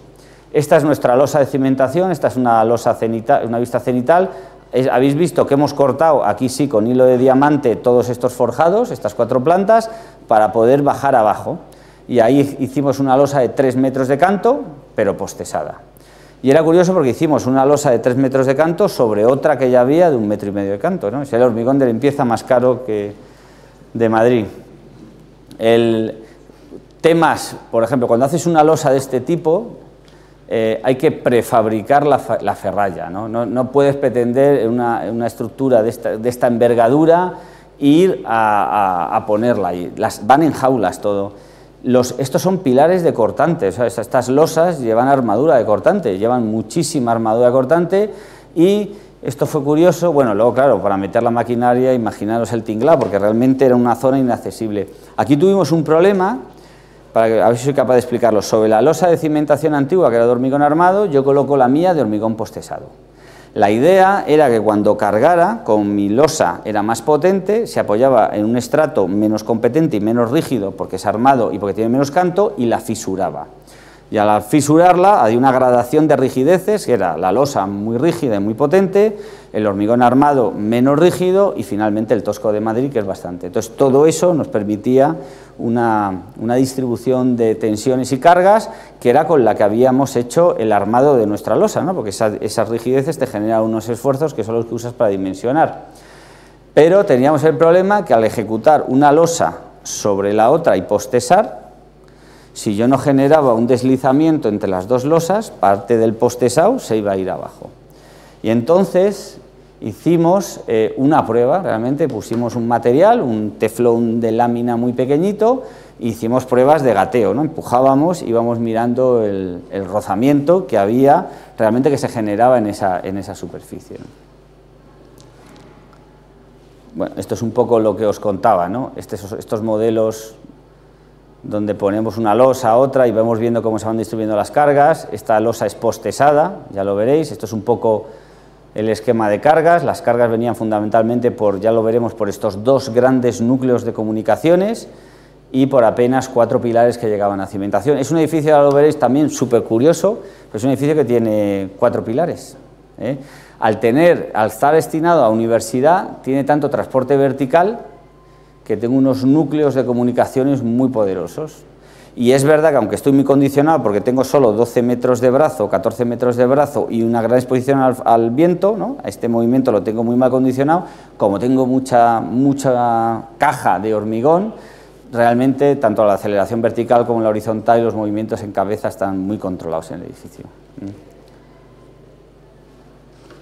De nuevo, claro, cuando uno empieza a hormigonar hay que empezar por la noche, la hicimos en dos tandas, dos metros y dos, metros y metro cincuenta, hay que controlar las temperaturas internas con los termopares que dejas embebido y tienes que controlar muchísimo la afluencia de las, de las bombas, ¿no? Esto yo no sé si eran 700 hormigoneras, 800 hormigoneras en cada tanda, porque no puedes parar los hormigonados, ¿vale? Entonces, eso sí que lo tienes que tener bueno, hay que hablar con la Guardia Civil, con la Dirección General de Tráfico, para que no tengas tiempos de espera. Si, espera mucho la bomba, la tienes que mandar a casa porque ya ha perdido cono. Y si pasa mucho tiempo, hay dos o dos horas donde no hormigona, se te genera una junta fría que tampoco es. O sea que hay una logística de obra que es importante tenerla en cuenta. En cuanto a las plantas, pues aunque decíamos plantas tipo realmente luego tampoco eran, son todas tipos, ¿no? La que no tiene un hueco aquí, tiene doble voladizo, etcétera. Pero básicamente, como os he dicho, tenéis estos grandes núcleos de comunicación. Luego tenemos tres pilares que pasan a dos para configurar este hall de entrada más diáfano y esta es la planta. Es una planta de nuevo que tiene una luz de 1550 y unos voladizos de 5 metros, que eso es lo que ha complicado muchísimo esta obra. ¿Vale? Porque no es hacer un voladizo de 5 y medio en una planta, es hacer un voladizo de 5 y medio en las 38 plantas que tiene el edificio, ¿no? Tiene controlados las contraflechas, es, es un tema complicado. ¿Cómo lo resolvimos? Nosotros propusimos hacer la metálica esta, lo que pasa es que salía un 30% más cara y la propiedad dijo que en hormigón. Tenemos unas vigas postesadas en este sentido, y una losa de canto estricto en el resto. De canto estricto es 15 o 20 centímetros, ¿eh? es muy, muy ligera, ¿no? porque la flexión claramente es en este sentido y en este. El problema de las flechas en el voladizo lo, comentaré luego, y el problema del acortamiento axil del núcleo y los pilares también lo comentaré luego porque es un tema interesante. Este es el alzado de la estructura. ¿no? Aquí estaría el suelo, esto es bajo rasante, la parte que comulga con, con los forjados del zócalo, Aquí tengo una zona de transferencia para apear este pilar y estas dos plantas son las dos plantas técnicas del edificio, está lleno de instalaciones. Luego los núcleos, toda distribución de huecos en las pantallas es otro de los temas más importantes que hay en un edificio en altura. Tienen que estar más o menos alineados, no puedes estar jugando aquí al tres bolillo porque todas las cargas no encuentran el camino de bajar. Están los huecos de vida arquitectura, que son puertas y ventanas, pero luego están todos los problemas que generan las instalaciones. Entonces Todo esto son patinillos. Entonces, claro, la distribución, la coordinación de todos estos huecos es un tema muy importante. A partir de la planta 25 perdíamos el voladizo y hicimos una estructura más sencilla. Aquí solo hay un anillo de rigidez que es el de arriba. De hecho, quiero decir, porque al final, cuando hacemos un edificio, tenemos dos grandes núcleos muy rígidos. Es verdad que tenemos muchos forjados que hacen que esto sea más o menos monolítico, pero de vez en cuando, cada ciertas plantas, conviene hacer un anillo que te permita que eso funcione de manera solidaria. Aquí pusimos este, bueno, porque venía bien, la verdad, pero tampoco era estrictamente necesario. ¿eh? O sea, con la potencia de estos núcleos, como al final la planta era una planta monolítica de hormigón, la rigidez estaba asegurada. Lo que pasa es que por arquitectura querían generar aquí un gran dintel y, bueno, aprovechamos la ocasión y hemos hecho un muro de hormigón que tapan las instalaciones y aljibes que quedan aquí dentro. Quiero decir que al final, si no hubiéramos tenido que hacer pilares, vigas y forrarlo con algo para, para hacerlo, ¿no? Estos son los dos pilares. A ver. Estos pilares son mixtos, ¿vale? De aquí para abajo. Es decir, son unos grandes pilares que llevan un perfil metálico embebido y son de HA70, ¿vale? Son hormigones ya especiales. En este caso lo hicimos con humo de sílice. Llevan unos aditivos que permiten tener 70 megapascales que está bien, ¿no? es, un, hormigón controlable, ¿no? si te vas ya a 90, 100, 110, que a veces se usan, son hormigones ya que tienes que tener, bueno, tienes muchas precauciones con la ejecución, la dosificación y su puesta en obra. ¿no? 70 no hemos tenido problemas, hemos tenido otros problemas que ya os comentaremos. Y a partir de aquí, para arriba, ya son solo de hormigón. ¿vale? Aquí, claro, como le llega el apeo, reciben un 50% más de carga y tienen que bajar abajo. ¿no? Esos son, eh, perdón, esos son estos grandes pilares, ¿no? Estos son dos metros, tumbaos, yo no llego al... Son grandes perfiles, ¿no? La, puesta en obra, cómo se colocan las barras, cómo se posicionan, el replanteo de estas estructuras son muy importantes también, claro, no podemos nacer inclinados, ¿eh? hay que controlar, se dan las medidas topográficas, ahora veremos de cómo se controlan las deformaciones en altura, es muy importante. Y luego tiene todos estos cercos y armadura porque es, es, es mixto, como os he dicho, luego se recubrían de hormigón. Un tema importante, el hormigón. ¿Cómo se bombea hormigón? Porque hay que, hay que bombear hormigón a 150 metros, a 180 metros. ¿no? En ciertas torres, a partir de 200, 250, se hace una parada intermedia. ¿vale? Se sube arriba, se amasa y se vuelve a subir. Nosotros, como era 190, no necesitábamos. O sea, se podía hacer desde abajo. Pero para probar lo que hacemos es una prueba en el suelo, es decir, para simular la pérdida que tienes de segregación de hormigón cuando bombeas el hormigón para arriba, pues lo que para simular eso lo que hicimos fue una especie de alambique con muchísimas curvas, ¿las veis? Entonces metíamos hormigón dentro, le hacíamos el cono de Abrams, ¿no? veíamos la dosificación, la ductilidad, y cuando salía veíamos cuántos centímetros de cono perdía, porque eso, bueno, para tenerlo en cuenta, ¿no? Eh, aquí los materiales hay que controlarlos bien. Una torre de estas, es, o sea, las cosas no digo que vayan justísimas, pero hay muchos problemas que te pueden surgir en la ejecución y que uno en fase de proyecto tiene que tener muy claras para, para no equivocarse. ¿no? Bueno, aquí tenéis imágenes, aquí ya está el apeo de la hecho y estamos tirando ya con las dos trepas hacia arriba. Este, perdón, este sistema lo hicimos, hay dos posibilidades, BBVA, la trepa central iba sola, ¿Cuál es el problema de eso? Que cuando yo luego llego con mi forjado, para conectarme tengo que pinchar, ¿vale? Y eso a mí personalmente no me gusta. De hecho, tú puedes pinchar y tener efecto pasador, pero eso solo te permite conectar a cortante. Si tú tuvieras que empotrar algo, ya no vale pinchar, ¿vale? A tracción, las barras pinchadas no funcionan bien. Entonces tienes que usar manguito, que es muy caro, dejar metido un, un manguito y luego roscar la barra, o dejar unas cosas que se llaman box que es una plancha que tiene los redondos doblados y cuando se van los desdoblas. ¿no? El problema es que los Stabox solo se hacen hasta FIDIL de 16 y nosotros necesitamos mucho más. Entonces, aquí usamos autotrepas, pero la autotrepa no se iba, se quedaba pegada, de tal manera que yo era capaz de hormigonar el forjado y el muro a la vez, ¿de acuerdo? Era autónoma en el sentido, a ver si me explico, que esto no se apoyaba en el suelo, era autotrepa, pero no la mandaba por delante, ¿vale? Aquí veis el típico detalle de la viga, ¿no? Estas vainas de cuatro, que en este caso sí que atravesaban los pilares. En este caso, la trepa, la verdad que estaba, desde mi humilde punto de vista, más conseguida en términos de seguridad y salud. Estos proyectos tienen que pasar, aparte de... Son unos proyectos que hay que visarlos. El tema de seguridad y salud cada vez más importante por el viento, por un montón de cosas, ¿no? hay, que, hay que vigilarlas. Y esto es un poco cómo queda. Son grandes espacios diáfanos, este es el voladizo grande. Aquí realmente van las oficinas. ¿eh? Por eso digo, tenían que ser unos voladizos importantes. Y aquí dentro, en ese espacio de 15 metros, van dos aulas separadas en dos. No era caprichoso el tema de la planta, o sea, no íbamos a 16 metros de luz por, por hacer un alarde, realmente el uso que se pensaba en el edificio requería de, de, esa, bueno, de esa distribución. ¿no? Aquí veis también el descuelgue de las, de las vigas. ¿no? El apeo, pues el apeo la verdad que también fue muy robusto, es una A, ¿no? la carga de este pilar viene por aquí, lo abro en estas dos bielas y hago un tirante. No puedo contar con la resistencia a tracción de esa planta porque era, ya veis el perfil que sale. De hecho, lo que hago es de este tirante cuelgo esta planta, para que esta planta de aquí también tuviera este apoyo, este, ¿no veis aquí el tirante que baja? y este. ¿Y por qué? Porque esta losa tenía cargas de 20 kilómetros metro cuadrado, era donde van todas las instalaciones pesadas del edificio. Luego, inmediatamente por encima, estaba esta estructura, que era una estructura metálica, que también estaba preparada para cargas, pero un poquito más ligeras, porque donde iban a estar las climatizadoras, etcétera, que ya sabéis que son muy voluminosas, pero no pesan tanto como otras instalaciones. Este es el tema del acortamiento axil, por hablar también un tema más de análisis estructural, que es interesante que sepáis.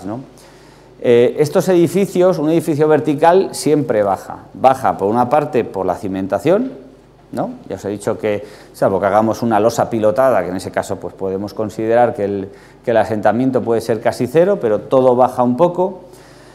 Baja por el acortamiento axil y luego baja por la afluencia del acortamiento axil. Es decir, uno construye el edificio y ha bajado dos centímetros, pero por la propia afluencia del hormigón, a los mil días, dos mil días, puede haber bajado otro tanto. ¿no? ¿Por qué es tan importante esto? Dices, bueno, pues la verdad que, que un edificio mida 193 metros o 192,88, pues a quién le da igual. Pues importa por las fachadas porque uno las fachadas las encarga siempre con geometrías teóricas. ¿no? Todos los paneles de fachada tienen que ser iguales, todos los paneles de fachada miden lo que tienen que medir. Si nosotros, imaginaros, montamos el edificio y vamos montando los paneles de fachada, cuando llego arriba me sobran 4 centímetros. Y lo que es peor, cuando al cabo de 5 o 6 años me sobran 15, ¿no? Las juntas de los paneles de fachada reventarían. ¿Lo entendéis un poco? El problema, la problemática. Entonces nosotros aquí teníamos el triple problema, porque claro, además de tener el problema este general de asiento, tenía el problema de los voladizos. Normalmente los edificios en altura siempre se pone una estructura en fachada. Vamos, que los que yo conozco, todos. ¿Por qué? Porque por otra parte es lo lógico, ¿no? Entonces tú tienes muy controlado el movimiento del punto donde vas a apoyar tu fachada. Nosotros teníamos un problema, que ahora lo contaré, que es salvaje, porque además Imaginaros la ley de flectores, tengo un vano que es el voladizo, el vano largo y el voladizo. Cuando en una planta la gente estaba dentro, porque estaba en clase, los voladizos subían. Curiosamente, para que no todos entraran en la clase al mismo tiempo, las habían secuenciado. Entonces, abajo estaban en el free time, que están en el otro lado, están eh, fuera de la clase, con, lo que el voladizo se le iba para abajo.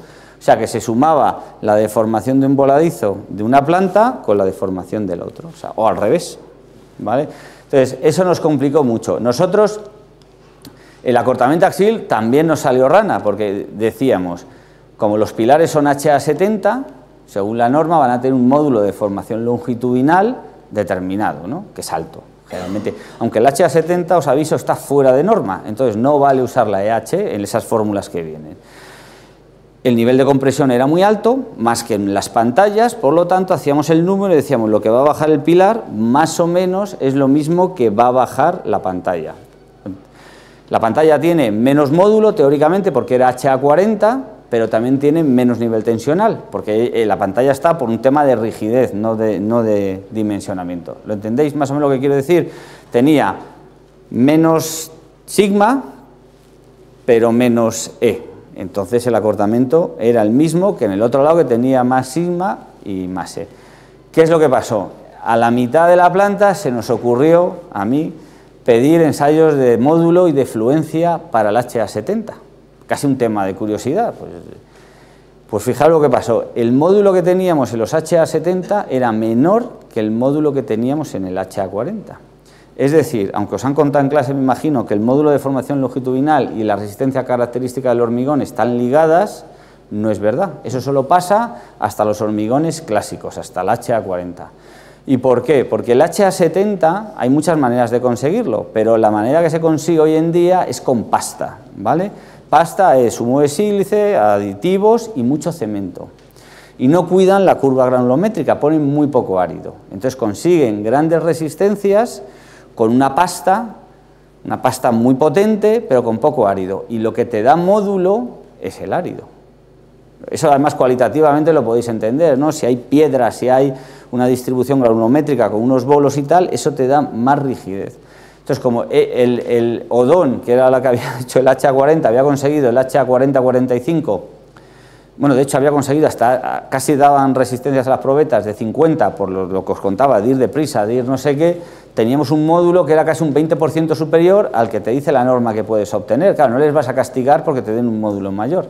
Y en cambio, Maorsa y Lafarge, que estaban haciendo el HA70, habían conseguido el hormigón a base de cemento y nos salía un, 20% menor que lo que decía la norma. De tal manera que al final teníamos más módulo en el HA40 que en el HA70. ¿no? Y eso lo descubrimos, que, lo, que bueno, y por supuesto la fluencia va en paralelo.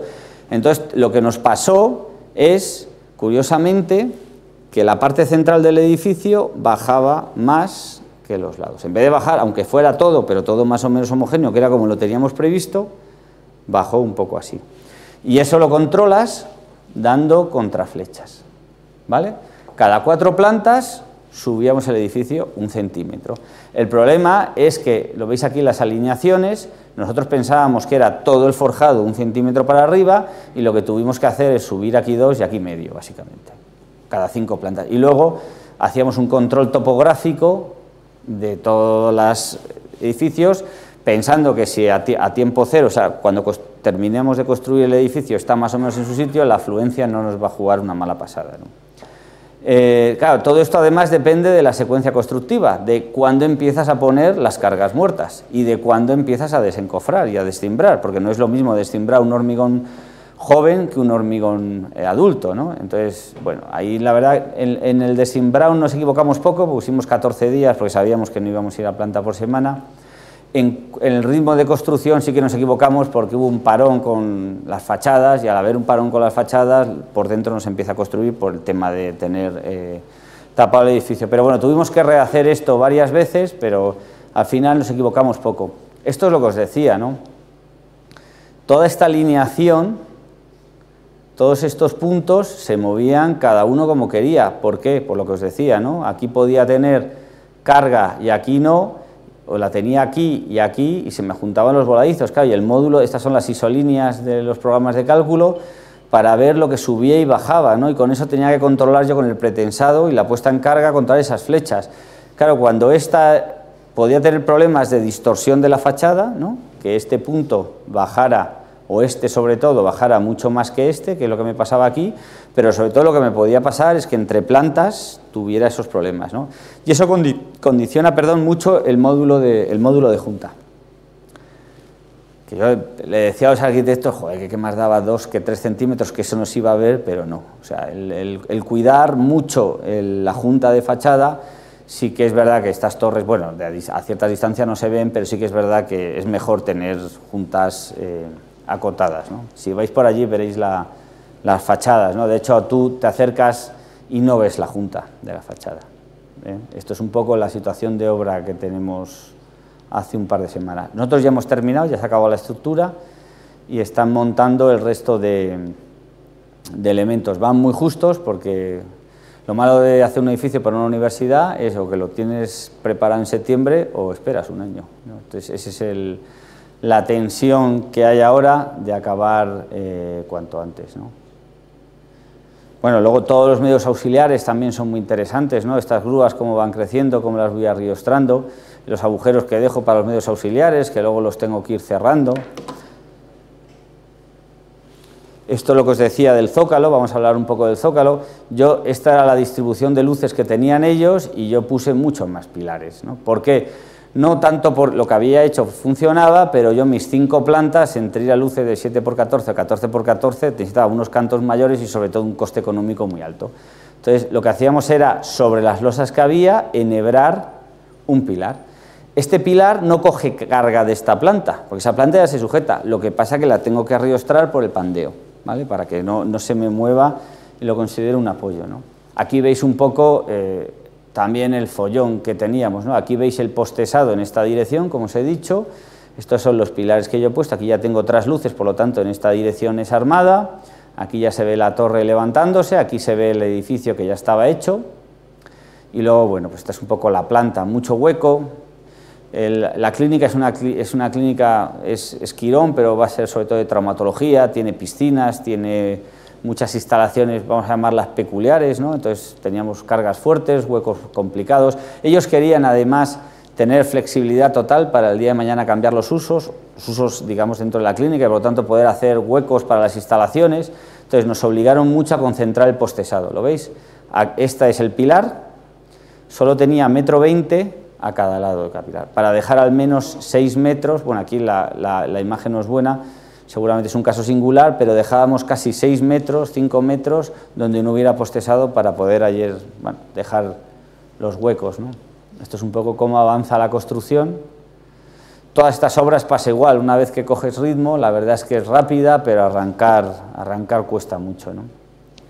Dentro de este zócalo eh, había muchas tipologías estructurales. Como os he dicho, teníamos auditorios, teníamos cubiertos, teníamos polideportivos. Entonces, aparte de esas losas postesadas para salvar ciertas luces, o sobre todo cuando teníamos doble altura, ya es un tema de cimbra. Si, voy a una estructura de hormigón aquí, claro, tengo que tener cimbrado 12, 14 metros, es costosísimo, y entonces fuimos a una estructura mixta metálica, aquí la veis, que nos funcionaba. Otras veces se usó estructura mixta porque las luces eran ya importantes y no solo eso, esta cercha, si os fijáis bien, es una cercha gordita, es una cercha potente. No es una cercha de una cubierta, ¿pero por qué? Porque es que encima de esto hay tres plantas más o una cosa así y, no, y, y tengo que apear pilares aquí, porque está la zona comercial, esto creo que es el auditorio, aquí las veis. Bueno, aquí veis también, eh, estos son los elementos de fachada, ¿no? este es el zócalo. Estos son, eh, Caleido sí que tiene muchos detalles curiosos, ¿no? de esa interacción entre arquitectos e ingenieros que es muy divertida. ¿no? Nosotros al final, para salvar estas luces, que encima aquí había que apear, tenía que ir a una celosía, ¿no? tenía que ir a una celosía metálica y aprovechar el canto y cosas de la vida, pues aquí había una tienda. Entonces embebimos la celosía dentro, y es ha sido la primera en alquilarse, curiosamente. O sea, lejos de, generar un problema, pues les ha gustado, ¿no? Les ha gustado a la concepción del, este. Aquí también tuvimos que volver a hacer ese estudio eh, mecánico-térmico, porque no queríamos pintarlo muy masivamente. Son celosías, claro, amplias, que dejan el paso, dejan dejan el paso y, ha gustado y ha sido una manera de resolver, esta es la chapa deck antes de hormigonar, resolver este problema. Y luego ha habido temas muy graciosos, ¿no? Hay esta escalera que también la llamamos la escalera Etcher, porque no se sabe ni a dónde va ni dónde estás, o sea, es, esta es la torre, tienes que permeabilizar muchos niveles a ambos lados con una escalera complicada. Entonces nosotros decidimos que, que para añadir todavía más confusión, pues lo, lo, forramos de pilares por todos los lados para que no se supiera cómo se sujetaba, ¿no? Lo que pasa que esta escalera al final, yo no sé si la van a ejecutar, porque esto es, un edificio que tiene el problema que está destinado a equipamientos, ¿eh? y eso es un tema que el código técnico no cumple, no, bueno, no, no refleja bien en su normativa, ¿no? Entonces, eh, los requerimientos a los que está sometido el proyecto son constantes por parte de los técnicos municipales, que van mucho más allá de lo que dice el código técnico, ¿no? Es una persona del ayuntamiento, bueno, una persona que se lo sabe bien, que ha hecho su tesis doctoral sobre estos temas y tiene un nivel de exigencia muy alto. ¿no? Entonces, el proyecto, otro de los problemas que ha tenido es que con casi todo hecho venía un requerimiento. De hecho, la torre tiene dos escaleras exteriores en las diagonales que no estaban contempladas en el proyecto original y que ha habido ponerla. ¿no? Es otro de los problemas de estos edificios multiusos, que además son concesiones municipales y que tienen y que están sujetos a estos problemas de los e-, equipamientos, ¿no? que te piden un montón de, de transporte vertical, de escaleras, evacuaciones, minusválidos, etc. Bueno, y yo creo, si os parece, dejamos un rato por si tenéis alguna pregunta.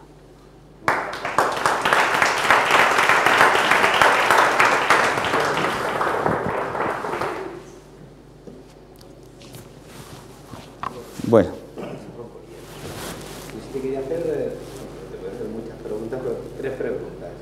Una era, ¿tuvisteis algún problema o que meter algún tipo de serpentín con agua para controlar la temperatura? ¿O se controló sola? ¿No hizo falta...?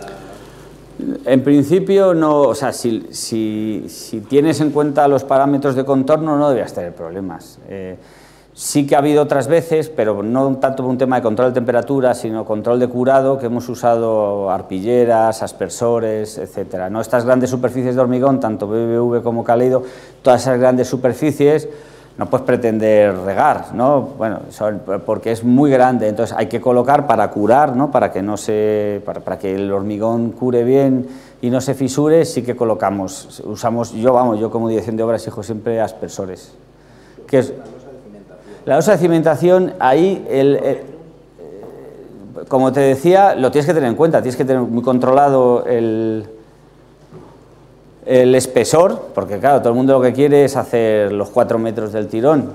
Tienes que tener controlado el espesor, la dosificación del hormigón y empezar por la noche, etcétera. Pero vamos, en este caso no usamos, no usamos ningún medio de enfriamiento. Otra pregunta era si ¿Considerasteis en algún momento, porque al apoyar la cimentación sobre la otra cimentación existente, está arrastrando sí, sí. ¿Considerasteis en algún momento también romper, cortarlas? cortarlas sí, sí. Viendo y no estaban ganas de Desde luego, porque el problema que teníamos nosotros, para que lo entiendas, la losa de abajo estaba para otras cosas y curiosamente el momento de fisuración estaba muy cercano del momento último que en, una, losa normal es muy improbable, pero en una losa de cimentación, como tiene mucho canto, estás ahí. ¿no? Entonces, claro, nosotros queríamos fisurarla, pero no romperla. A mí que se rompiera la que estaba debajo de mi losa me daba igual. Lo que no quería que se me rompiera cerca de los bordes, porque ahí ya sí que iba a colocar yo mis nuevos pilares y los pilares existentes. ¿no? Es una losa continua, entonces a mí que se me rompiera aquí, como el resto de pilares iban a empezar a estar a 20 metros, el problema era qué pasaba con los que estaban, como dices tú, cerca de, la nueva losa y que podían verse arrastrados. Pero bueno, los números decían que, se quedaba ahí y así parece que se ha quedado. Sí, no, no, pensamos en cortarla. Lo que pasa es que fíjate, cortar eso no es nada fácil. ¿eh? Tú puedes cortar, ¿sabéis cómo funciona un hilo de diamante? Es como una, como una arpa, una serreta de esas, es un hilo que va pim, pim, pim, va cortando. La, sierra, la sierra de diamante, aunque tenga mucho diámetro, no corta más de 40 centímetros. ¿eh? No hay ninguna en el mundo que corte más de 40 50. Y esto eran dos metros. Entonces, y no podía mantener el hilo. Entonces, hay hidroexpansivos, el mundo de la demolición es un mundo fascinante, ¿no? Haces unos agujeros, metes un producto, lo llenas de agua, ¡boom! y revienta, ¿no? Pero claro, esa rotura no es limpia. Nos la, vamos, nos la jugamos, los números decían que, que no y parece por el control topográfico que no se ha roto. Pero sí, era un tema, ese era un tema complicado.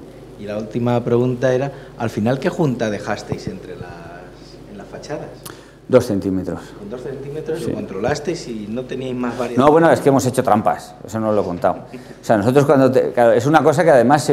bueno, yo creo que lo importante de la ingeniería y la arquitectura es, tener registros, ¿no? Tener plan B.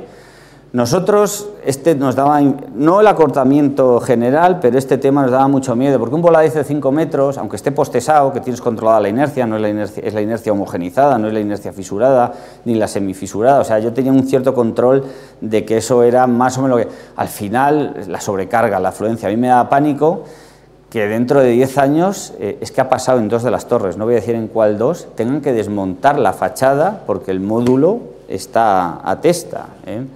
Entonces lo que hemos hecho es hacer la torre.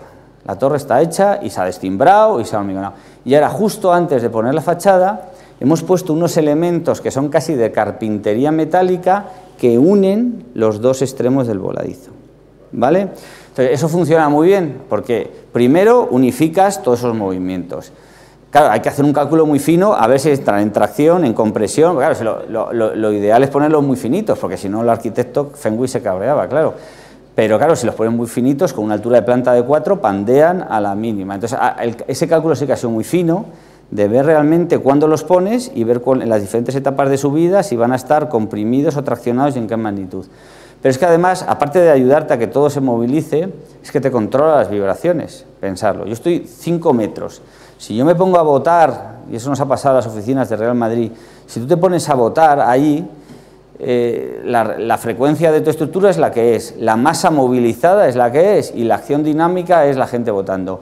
En el momento que tú solidarizas todos los forjados, el tío que se pone a votar tiene que movilizar todos los forjados.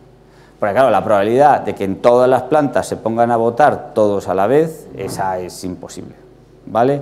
Entonces, simplemente con ese truco de solidarizar masas, tienes muy bien controlada el tema de las, de las vibraciones y de las flechas puede cambiar, no te va a cambiar mucho. Señor profesor, deja que pregunten los alumnos, porque si no... Vale, vale, ya dejo de preguntar.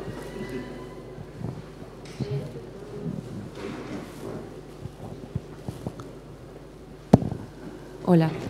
¿Cómo hicieron en el primer edificio, el del BBVA, para resolver el tema también de lo que baja el edificio con la fachada? Porque me di cuenta que no va por fuera, sino que va por planta. El, el BBVA era mucho más sencillo, porque la, la, fachada, aunque teníamos unos vuelos de metro y medio, dos metros, la fachada iba en la alineación de pilares. Entonces eso bajaba el edificio en general, ¿de acuerdo? Pero no tenía ese problema del voladizo y tampoco tenía el problema de la junta porque no iba fachada sobre fachada, no era un muro cortina, iba por dentro, iba de forjado a forjado. ¿Lo entiendes? O sea, el problema de Caleido es que la fachada va por fuera, pero por fuera, por fuera del edificio. O sea, no se apoya en el forjado, ¿de acuerdo? Tiene una estructura que se acopla al forjado, pero va por fuera. Entonces, la junta es de, módulo de fachada sobre módulo de fachada. El BVA no tiene nada que ver, porque como estaba remetida, la fachada se apoyaba en el suelo del forjado y en el, otro, y en el techo del otro. Entonces, no había un problema de acortamiento. ¿eh? Era todo lo que bajaba el edificio, todo lo que tú cada planta la construías con la altura de planta que tenías y ahí colocabas tu módulo de fachada. BVA en ese sentido fue mucho más un edificio en altura, pero sin ser un edificio en altura. O sea, si, los problemas de edificios en altura. Para losas como estas de 4 metros de canto, las cuantías mínimas que empleas son las convencionales de 0,18. Sí, las la cuantía mínima mecánica es, hay que cumplirla siempre. Me da igual que sea en la cimentación, porque si no te, te puede venir un colapso frágil, aunque estés muy lejos nunca de eso y la cuantía geométrica también. ¿no? Ya sabéis que los de cimentación te hay que repartir en dos caras, pero generalmente en estos edificios te sale una cuantía que es mayor que la... Con los cuatro metros de... Sí, sí, sí. También tenía la duda... Para que te hagas una idea, BBVA tenía dos capas abajo de FI 32 a 10. Ah, perdón. Vale. También tenía la duda con la torre del BBVA, que los forjados en sí, al tener tantos pilares en fachada cada dos metros y medio, eran muy unidireccionales ¿No se planteó hacer elementos, elementos prefabricados como placas alveolares mm, que aligeraría, o sea, sería más rápido? Sí, o sea, el, el, problema, ahí puedes, o sea, puedes intentar industrializar la construcción, ¿no? Hacer pues, una placa alveolar es más o menos lo que estábamos haciendo nosotros, ¿no? Teníamos un elemento muy direccional y, que ya viene aligerada de, serie por, porque, porque tiene los alveolos y yo ponía el tubo. Era muy parecido, pero ahí tienes el problema, que eso nos pasó en la Expo de Zaragoza, cómo conectar esa placa alveolar al voladizo. ¿no? O sea, aunque era un voladizo pequeño, tienes un voladizo de dos metros.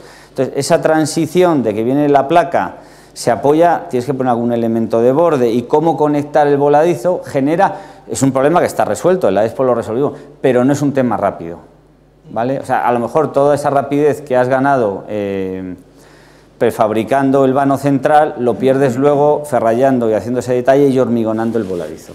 Y luego además que vamos, ya a Herzog no le colocas un prefabricado, pero muy difícil. Es que has visto el hormigón ahí de nuevo, ¿eh? Y en, has enseñado una imagen del túnel de viento de Caleido que estaban al lado de las otras cuatro torres. Sí. A ver cómo afectaban las cuatro torres a Caleido. Y a la inversa. También, también, hay que estudiarlo todo. Y no había ningún. No, a nosotros. Eh, nuestra torre es peor porque en Madrid uno cuando hace. El, viento es el tema del viento es un tema es muy interesante, sobre todo para los edificios en altura. Eh, eh, cuando uno hace el estudio de viento, lo primero que que hacer es un estudio estadístico de los vientos de Madrid. Lo que pasa que al final, eh, aunque te salga que los vientos predominantes en esa zona son claramente del noroeste y tengas una dirección predominante, tú cuando haces el estudio para el agotamiento, es decir, para dimensionar, para la estructura, le barres las 36 direcciones cada 10 grados. No te la puedes jugar a que dentro de 20 años haga un cambio climático o te construyan un edificio enfrente que te altere los vientos. Es decir, tú sí que tienes que estudiar todas las direcciones del espacio con unas velocidades de viento de ráfaga que te dice más o menos el estudio climático.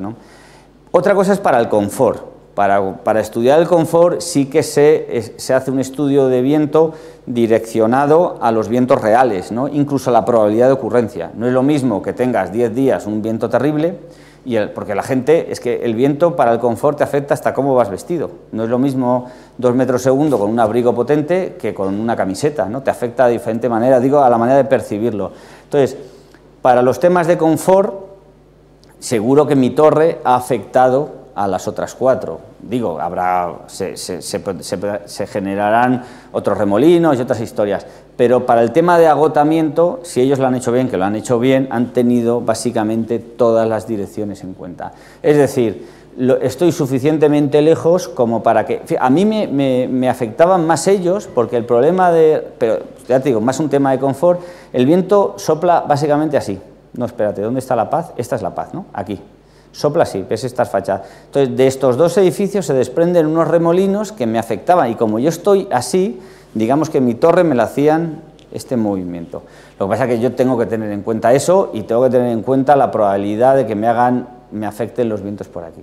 O sea, el tema, a ver si no me enrollo tanto, el tema de, de cálculo de estructura no puede ser que te, o sea, no puede darse la situación que futuras obras cercanas te, condicionen tu estabilidad. Eso tienes que tenerlo en cuenta en tus configuraciones. Y sí que afectas el confort, desde luego. Eso sí, cuando tú haces un edificio alteras el entorno, ¿no? De todas maneras, esta zona, no sé si habéis ido, es un verdadero infierno. Hay veces que a la gente se le ve andando casi inclinado, ¿eh? Y en cuanto a la afección del entorno que comentas, tenía la duda tanto de vientos como de cimentaciones. El generar un bloque tan pesado no puede no, levantar, pero... No, no. Ten en cuenta que ellos, vamos, es buena pregunta, pero en este caso no, estamos tan cerca, aunque tú creas que estamos cerca, no estamos tan cerca. Estos cuatro, este conjunto edificatorio tiene un, un gran zócalo también de tres plantas sobre rasante, con unas pantallas bestiales. Dos de estas torres tienen losas pilotadas, no sé muy bien por qué, porque la verdad que no lo pide, y las otras dos que hizo Julio Matías Calzón, esas tienen como las nuestras losas postesadas. Pero bueno, por la altura donde están, por los bulbos de tensiones, Madrid no da para eso. Si habéis visto antes la figura que os he enseñado, el bulbo es muy vertical. No hay, no hay, un, problema, no hay un problema real en este caso. Y esta ya la última. Eh, si separabas la cimentación nueva de la anterior, las la, que habías puesto un teflón para que el procesado no transmitiera cargas, las cargas horizontales de viento... no, me las, me, las trago yo. Eso, es una muy buena pregunta, porque ese es el dilema de siempre. Para viento, ¿dónde acaba la torre? Aquí, porque aquí ya la ha cogido con los forjados. Aquí, cuando está la pantalla, o abajo. Pues es abajo. Porque la holgura que tienes siempre en las conexiones de los forjados con la pantalla, que pone que pinchas o que haces, la, propia retracción que tienen todos esos forjados hace que esa conexión que tú crees que cuando llegas abajo intenta girar, moviliza ese mecanismo ¿no? de arriostrarse con las pantallas, es falso. La carga baja abajo. Y además es mejor, porque si no se te genera una inversión de momentos en un espacio muy pequeño que te destroza las pantallas. Pero es un tema muy interesante. O sea, el, 90% de los edificios a viento hay que contar siempre hasta abajo, hasta la losa. Y, y, lo coges con la losa. Digo, porque la tentación que tienes es como tienes siete plantas antes, unos forjados que van conectados a unas pantallas, dices, pues cuando intento hacer así, esto va a hacer así, ¿no? Esa conexión que te digo perimetral de esos forjados con la pantalla es poco fiable. Para, o sea, no para transmitir las cargas verticales, pero sí para transmitir estas. Y eso es un tema también que se discutió mucho, pero nosotros ahí preferimos llevárnoslas abajo. Por eso la torre tiene 193 metros, aunque solo se vean 100... Bueno, del lado de abajo se ven enteros, del otro lado no.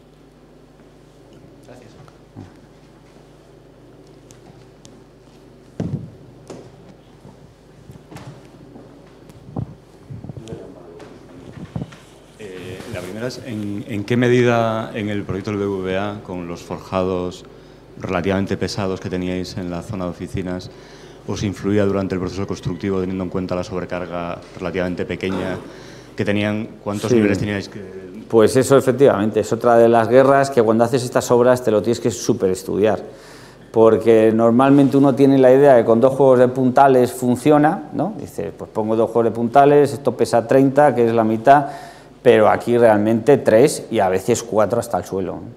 Y, la razón es que tampoco tiene mucho sentido hacerle la prueba de carga al forjado en la fase constructiva, ¿no?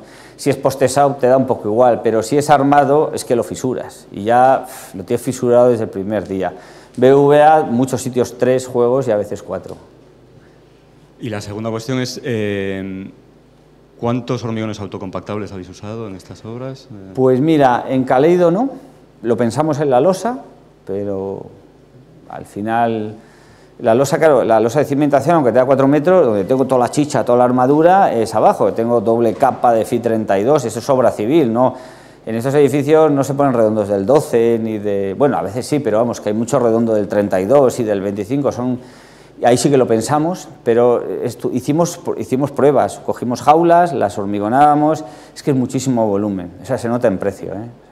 el, usar un autocompactable a, un hormigón normal en una superficie tan grande y además cortas el hormigonado, nada más pasar los primeros 50 centímetros de donde tienes la armadura, ya tienes otra junta, ¿sabes? ahí decidimos que no.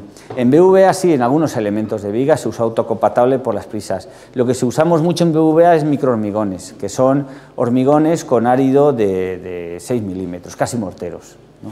Y muchísimo hormigón de árido 12, eso también. ¿eh? En, estructuras de este tipo, con armados densos y geometrías muy complicadas, el árido habitual es 12, no 20. ¿Alguna otra cuestión? quería solo apuntar, ha quedado suficientemente demostrado que las cosas hay que construirlas. Es decir, eh, claro, en estos proyectos, como son muy singulares, probablemente es absolutamente imprescindible, pero que cuando se proyecta tiene que saberse que hay que construirlo y que se puede construir. Y, ese, este, esa reflexión, que también la transmito en puentes o la transmito, hay que tener en cuenta porque si no lo que terminamos haciendo no es probablemente lo que estaba pensado. Aquí parece que es imprescindible hacerlo, ¿no? Sí, en estas obras realmente, bueno, ahora que sois todos jóvenes, ¿no? Y vuestra preocupación seguramente es manejar las herramientas de cálculo, ¿no? Que es lo que al principio todos, ¿no? Hacer el cálculo no lineal, hacer cálculos complicados. Bueno, eso es, un proceso y hay que saber hacerlo. Luego hay que saber proyectar, como os he dicho, que es intuir cuál es la tipología, cuál es el elemento que va bien a las cosas en función de, como dice Jesús, cuál va a ser el proceso constructivo, cuál es la coyuntura del país donde trabaja. No es lo mismo Estados Unidos que España, no es lo mismo Panamá o Sudamérica que España, no es lo mismo Alemania que España, ni siquiera. ¿eh? y uno tiene que, esas cosas tiene que saberlas. Y luego en estos proyectos, si uno solo se imagina la fotografía final, está muerto, vamos, hay mil historias que, que debe tener en cuenta. Y luego yo sí que os animo, en general a todo el mundo, a que no solo haga planos. ¿eh? Está muy bien calcular, como os he dicho, calcular sirve para confirmar tus, tus intuiciones o para terminar de matizar el proyecto, y luego hay que hacer un plano, ¿no? Y es, la parte quizás más creativa y más divertida, pero donde uno verdaderamente aprende es en las obras. ¿eh? Dirigiéndolas, ¿eh? no digo estando, porque estando es muy duro, ¿eh? pero donde uno de verdad aprende a saber si se ha equivocado, qué rendimientos tiene, si la solución que ha prescrito no es que cumpla la norma, eso por supuesto que se nos supone que no nos equivocamos haciendo los números, sino que es acertada, que no ha derivado en problemas ni en retrasos, que tal es muy importante. Y otra cosa que os digo, la construcción, claro, va a peor, y eso siento tener que deciroslo, ¿no? O sea, la, la construcción, no digo los proyectistas, digo la construcción en general y la edificación a peor. Entonces, el, es un problema porque hemos pasado una época donde tú más o menos hacías una cosa, la encajabas y funcionaba y se la dabas a un señor que era un constructor y te la terminaba, te la matizaba y te la construía, y ibas a la obra y decías, joder, si lo han hecho, a un momento donde es que no, no saben, no, bueno, se han perdido muchos oficios por la crisis. Entonces el que tenía 30 en el 2008, cuando la vio venir dice me dedico a otra cosa, y el que tenía 50 se ha jubilado. porque ya no ha aguantado más. Y entonces hay un vacío eh, muy grande de los subcontratistas, de los... Eh, es una visión pesimista, pero yo creo que es realista y es bueno que la tengáis en cuenta. Es decir, que cuando hagáis los proyectos y cuando proyectéis las cosas, dejarlo todo perfectamente atado y definido, porque si algo puede pasar, es probable que pase. Y es que antes estábamos muy mal acostumbrados. Yo recuerdo la época de Dragados, cuando yo salí, tú a Dragados le dabas un proyecto, yo me acuerdo la T4, vamos, es que primero que te hacían tres preguntas inteligentes que te dabas cuenta que sabían más que tú y segundo que eran capaces de terminar de definir y de resolver y solventar un montón de problemas. Hoy en día, pues la construcción, por desgracia, se ha en mi opinión, ¿eh? se ha destignificado bastante y en edificación mucho más que en obra civil. Así que eso hay que tener un poco de cuidado. Muy bien, pues nada, muchísimas gracias. Nada.